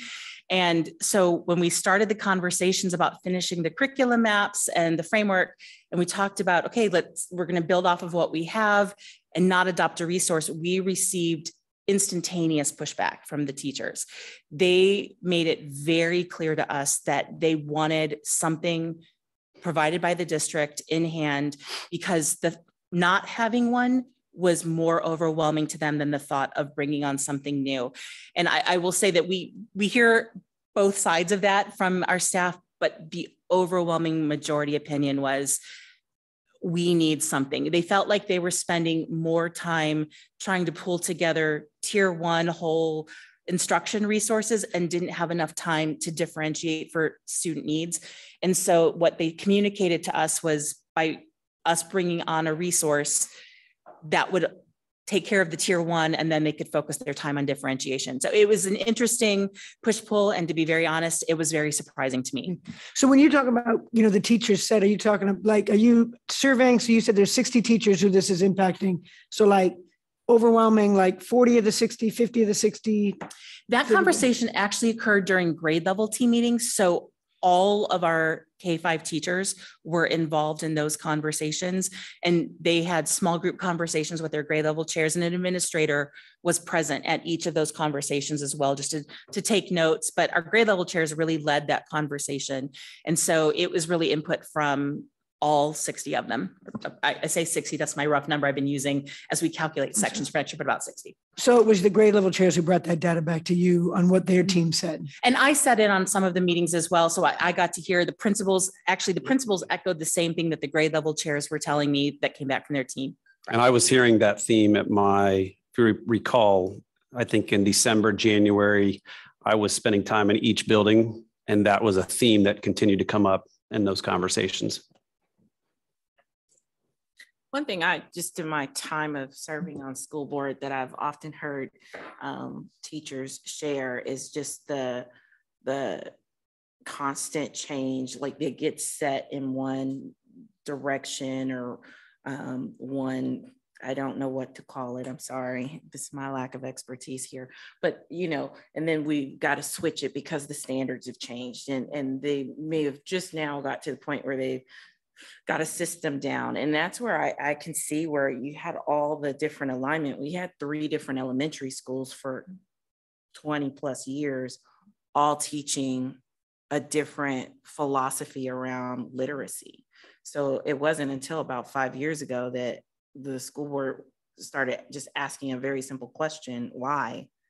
You know, if we're seeing this data come out around test scores that didn't support why we did all these different and we would have these long-winded presentations around best practices and they were best practices but they were best practices for some and not all. So i'm really i'm really really thankful for all of the um, work that has gone into sort of um, aligning that process. And uh, miss clark i have seen her many many times. Um, telling us these very things. So thank you. I didn't mean to interrupt your line of questioning, Marguerite. So this is a big change, right? And so what what systems or structures are in place for supporting implementation? Like to, to Alicia's point, right? You're going from a looser structure around ELA instruction to a tight structure right? Or a tighter structure. You've said there's going to be some leeway for teacher professionalism and choice and autonomy in their implementation process, but you're still, this is a big undertaking at an incredibly stressful time. Absolutely. So, what does that look like for 60 educators to understand what implementation is going to be going into next year? Like what is the what's the plan for professional development? So that plan, I'll be honest, is still under development for a couple of reasons. Um, one, we know that there are some pieces we know ahead of time. Um, we are aiming to submit the purchase order tomorrow, actually, with our goal being if we can get the order processed, we're hoping then that our teachers will have at the very least access to all of the resources digitally over the summer. We've had several teachers say they want as much time to preview it as possible.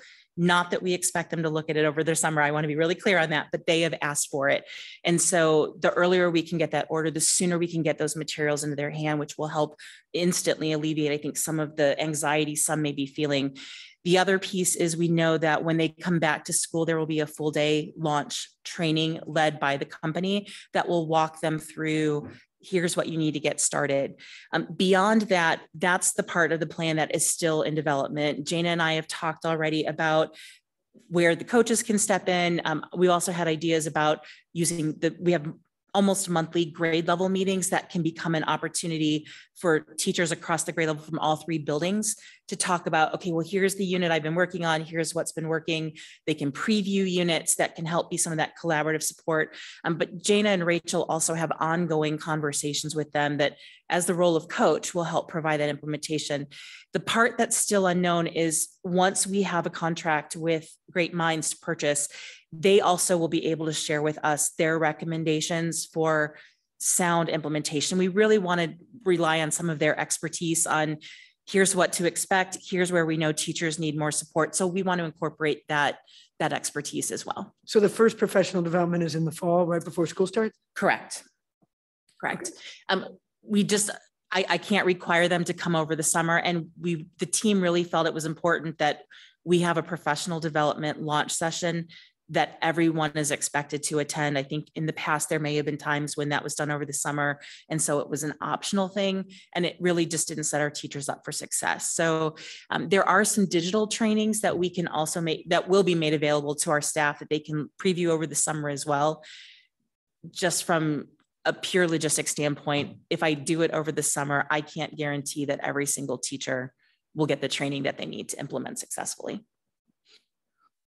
I, I definitely appreciate that it complements Fundations because then um, they're not recreating the wheel with a whole new system and Exactly. get getting what a matter of days before Exactly. kids are walking into the classroom and they're expected to start um, you know knocking out the cobwebs from over the summer and magically get them ready to um, take state tests in a matter of weeks or whatever um, i uh, are are you done marguerite i didn't want to sure Okay, I wanted to um, first just applaud the fact that um, this uh, recommendation focused on differentiation, something that we have often, often, often talked about and the necessity for it, um, while still providing some consistency.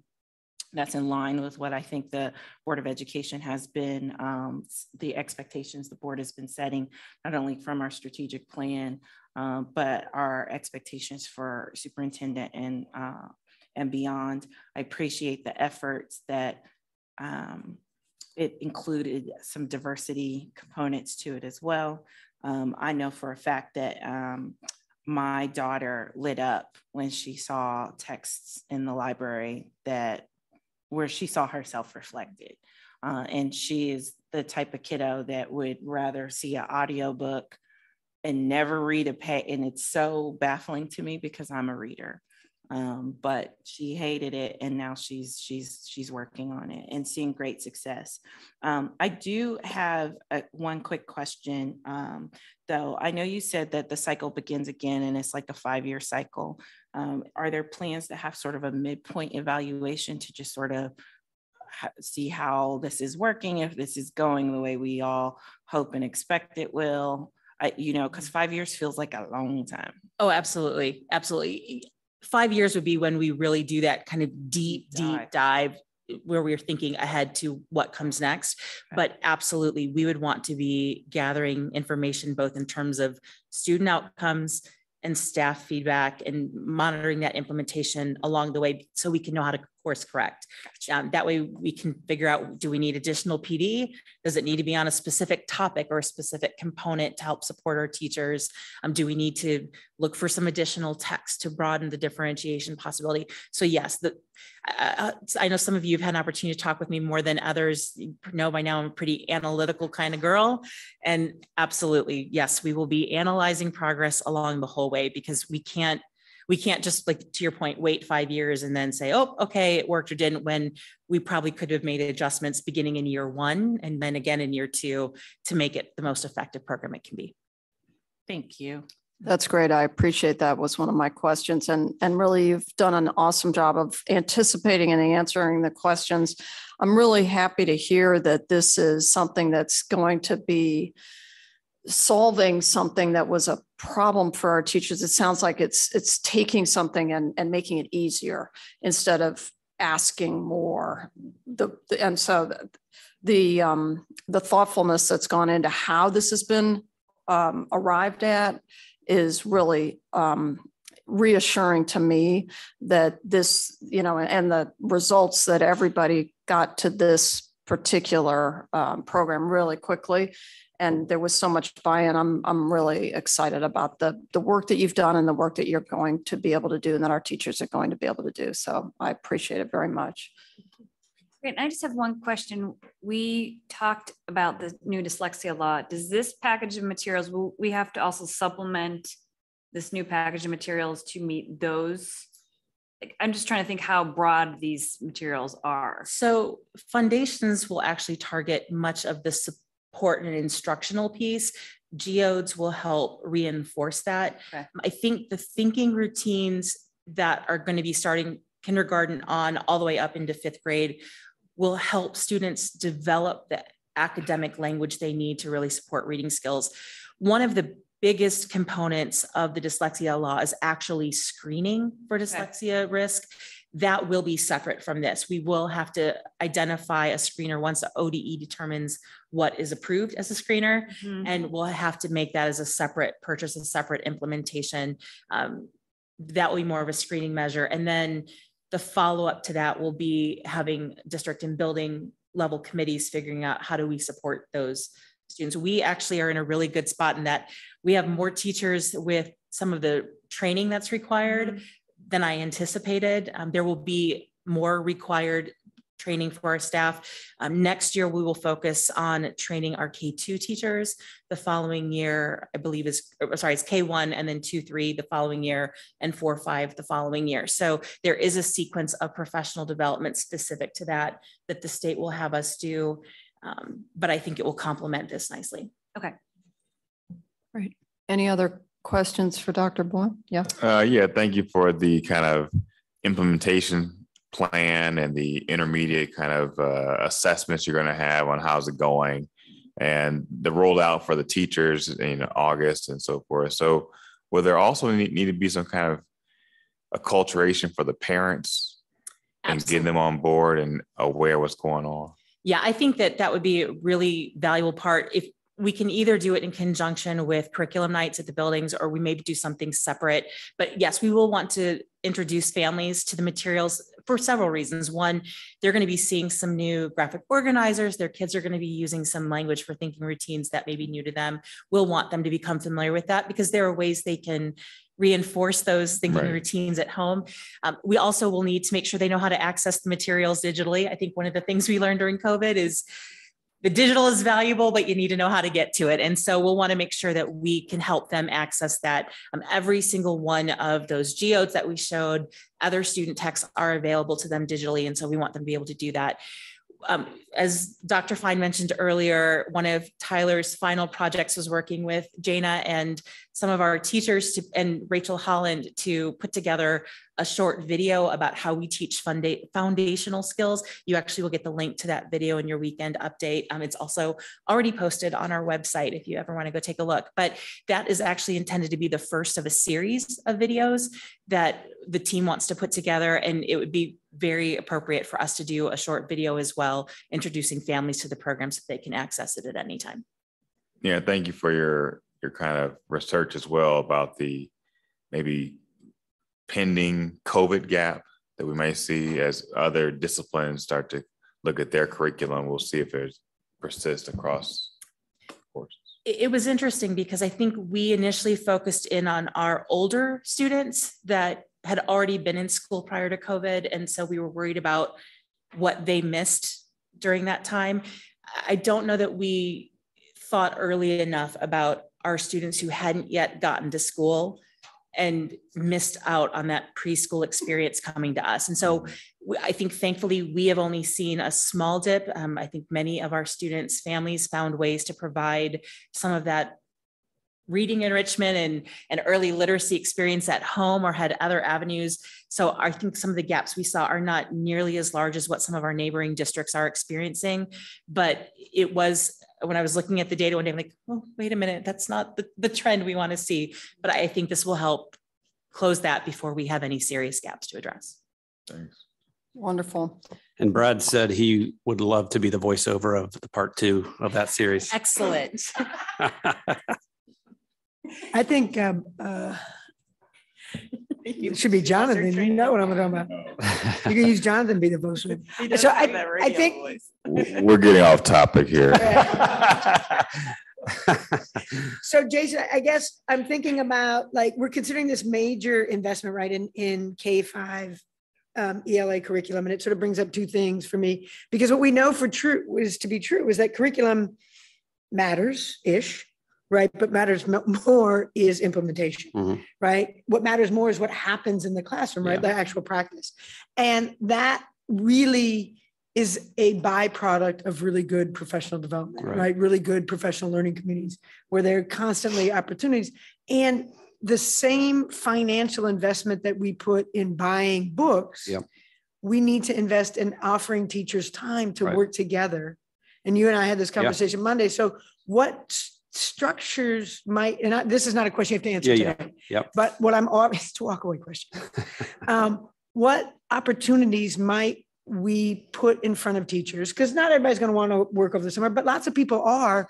And they should be compensated for that, right? Like we're asking them to adopt a new curriculum that's going to happen now, and they're going to have to somehow put in place in August.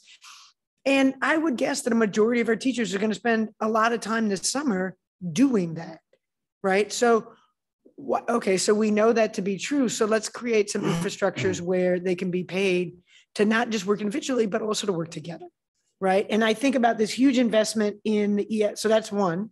What does that look like for the K 5 as they sort of navigate this adoption? And then I think, well, we're putting all this money into buying this curriculum for K 5, we do for 6 8 and 9 12, right? Like, I know you're going to talk about it next week. So maybe it's a walk away question for both of you, right? Like, so we ask those teachers to basically create their own curriculum in many ways, right? On their spare time in their 37 minutes of planning, right? Like, the reality is they're doing that on their own time. And so if what we know to be true is professional development or com- learn uh, professional learning communities or collaboration is where good thoughtful instructional planning happens, then let's create opportunities for that to happen and let's invest as much of our money in the actual planning of how you're going to teach it as we are investing in the buying of books because in the end People. it, it's what matters, right? Like people have been teaching kids to read for a long time in the absence of that, Mm. right? But the way that it happens is in the the planning and the collaboration. And so I would, you know, offer that that be on the May agenda is what opportunities are going to be available, paid opportunities for educators to implement either the curriculum we're buying or the one that we're asking them to create. Do you have something? Yeah, I do. I did. I agree wholeheartedly with you on making sure that our staff has time to do that. I do want to just kind of update you a little on the 612 piece.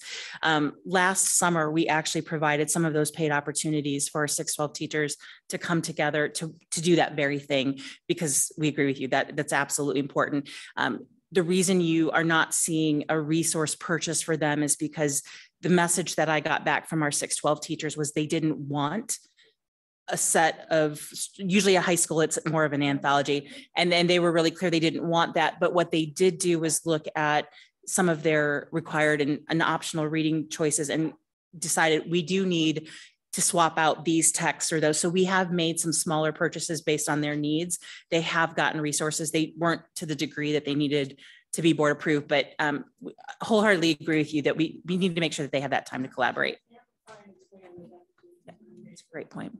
Um, I do recall though, in the fall, our teachers kind of loudly told us in a nice way, um, in that burnout way, um, that PD was feeling like a little overwhelming because of, you know, they, they had PD, they had very little planning time.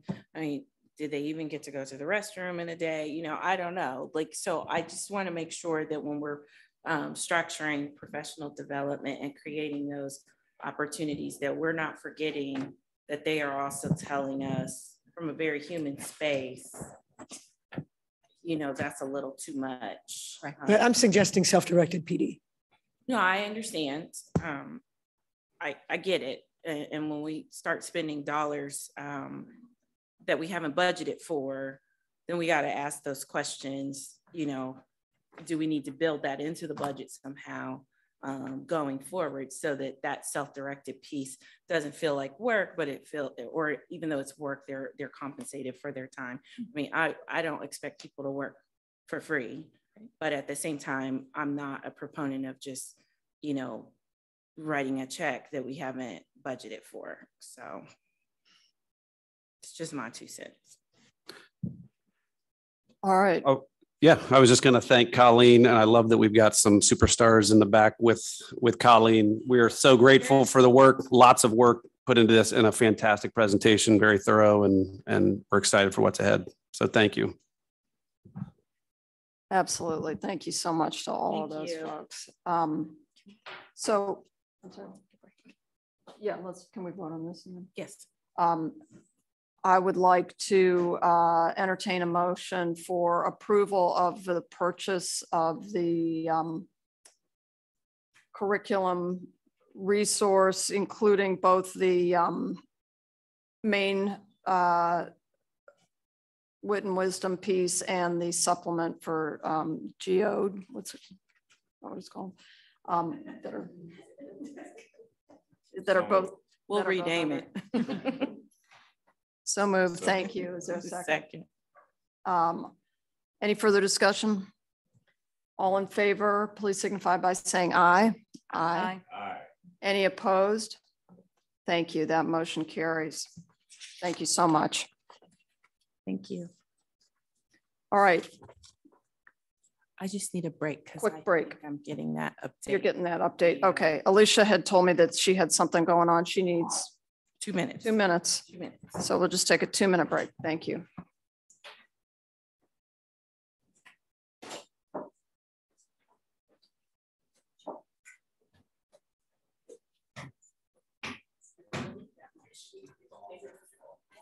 Hospital. Yeah.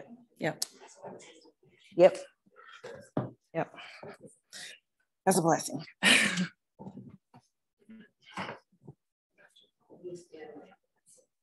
I just needed to, I could feel my phone go.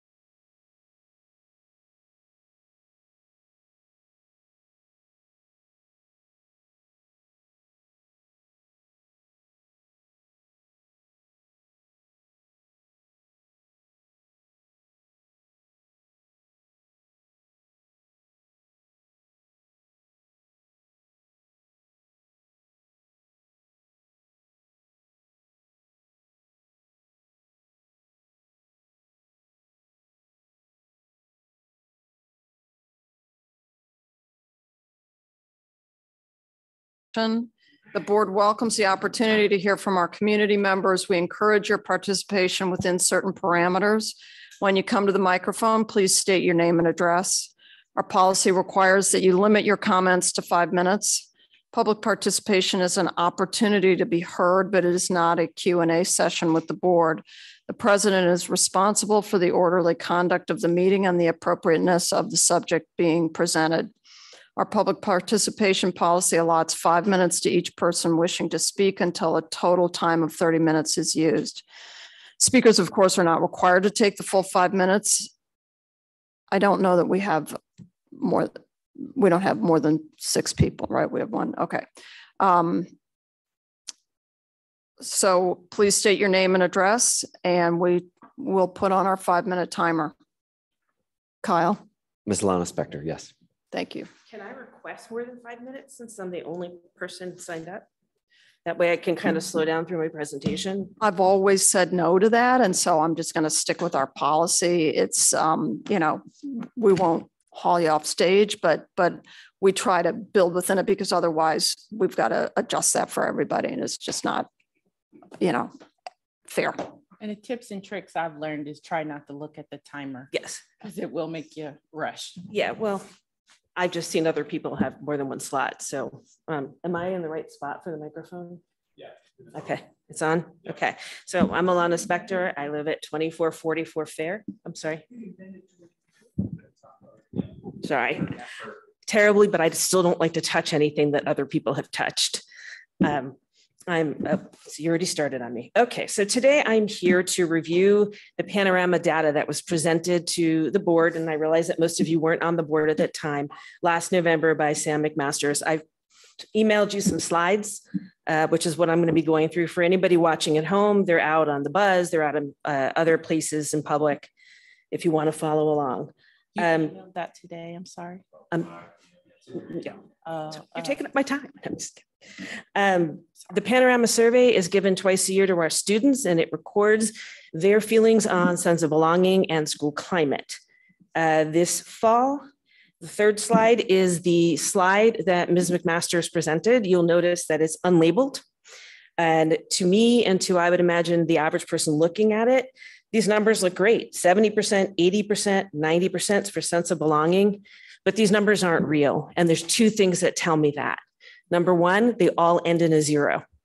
It is highly statistically improbable that across grade bands, the way this test is registered, that they would all end in a zero.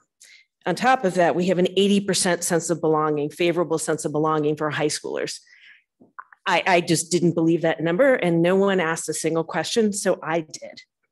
The next slide is the break, breakdown grade level for sense of belonging. Uh, I'm sorry, I've forgotten which test, uh, which testing period this is for grades six through 12, and I added a line at 80%.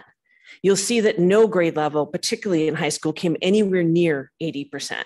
So, so what is that number? Well, if you go back and you listen to Ms. McMaster's presentation, you will see that she threw in a bunch of qualifiers. What she said is if you take the raw data, what our students told us about their sense of belonging in our high school, and you compare that to suburban high schools with low incidences of free and reduced lunch, that are ranking nationally was 80%. Nobody cares.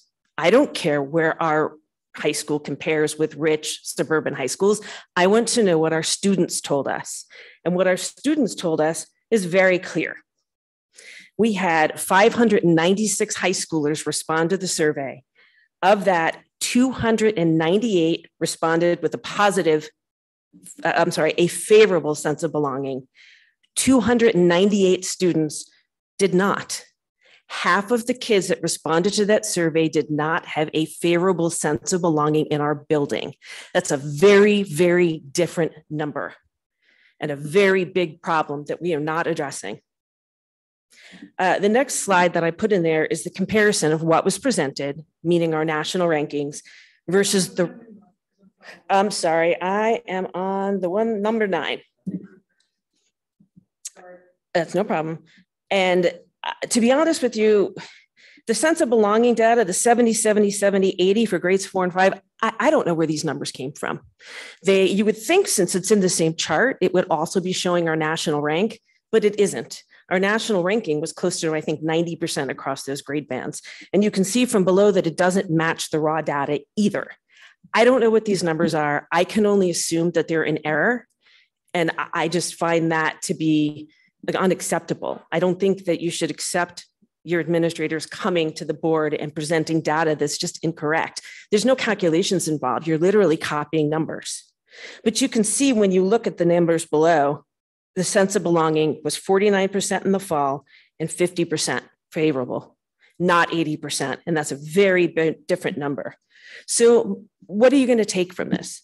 The first is that the data that was presented was at best misleading. I think it was deliberately so. I don't think our community would be happy to hear that half of our high schoolers don't feel that they belong in our buildings. I think that these numbers should have been apparent to their supervisors, her supervisors, and also our building principals. They should know these numbers by heart, up and down. And yet it's been five months and we've heard nothing about any of this. I, I don't understand how the, the administrators, building principals did not look at those numbers and say that's not right, especially the elementary school, because their numbers were underreported. And I think that we need to look more closely at this problem because clearly it's a bigger problem. So, what else can you take from this? Recently, our district announced an initiative to look into our special ed services after years and years of complaints from SPED parents about the lack of quality services. Who is leading this initiative? Sam McMasters, the same person that has been responsible for delivering these SPED services for eight years. Clearly, there's a conflict of interest. Clearly, this can't be best practice. She handpicked the committee of the people that would provide input on this committees. I know I received an email in February, I think it was the 24th, saying that the committees were set and I wasn't on it. Uh, nobody that I know was selected. I've asked all of my SPED friends. Nobody. I don't know who's on this committee. I can tell you that we did receive a survey asking for input, but what was lacking in this survey is who, if anyone, would be reading it and what that input was going to be used for. How is it going to be used? Without that, it just feels like more gaslighting. You know, we'll, we'll get your input so you can feel good about giving it, but we're not going to tell you that we're even going to look at it or use it. That makes no sense. I think here today, I'm here to ask you for two things. Number one, insist that any district employee that comes to present to the board and to the community shows unfiltered, real, accurate data. There's just no excuse for anything less. And, and I think you should even make a consequence because it seems to be a fairly regular thing, as from the data that I followed. The second thing I want to ask you is I, I want the board to take control of this initiative, the special ed initiative we need to have an independent body such as ODE or our state support team come in, look at our processes, look at our procedures, look at our IEPs, see if they're written appropriately, see if they're written legally. I can tell you from what I've read, I, I would not support that statement. I'm asking you to do a real look because you can't fix a problem if you don't acknowledge it exists. Thank you. Thank you. I appreciate your coming in. I know the board does. Um, Dr. Fine, I assume that you will look into the discrepancy or the errors, the mistakes, the, the issues that are being raised here and report to us Yep. about it I'll make sure you have a, a report to the board uh, as soon as we dig in. and on all of that. Yeah. Thank you.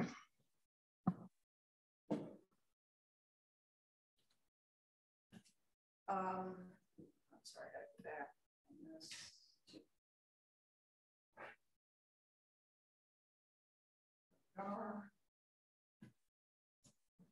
So I think that we have no further um, uh, items to come before the board this evening. If that's the case, I'll entertain a motion to adjourn the meeting. So moved.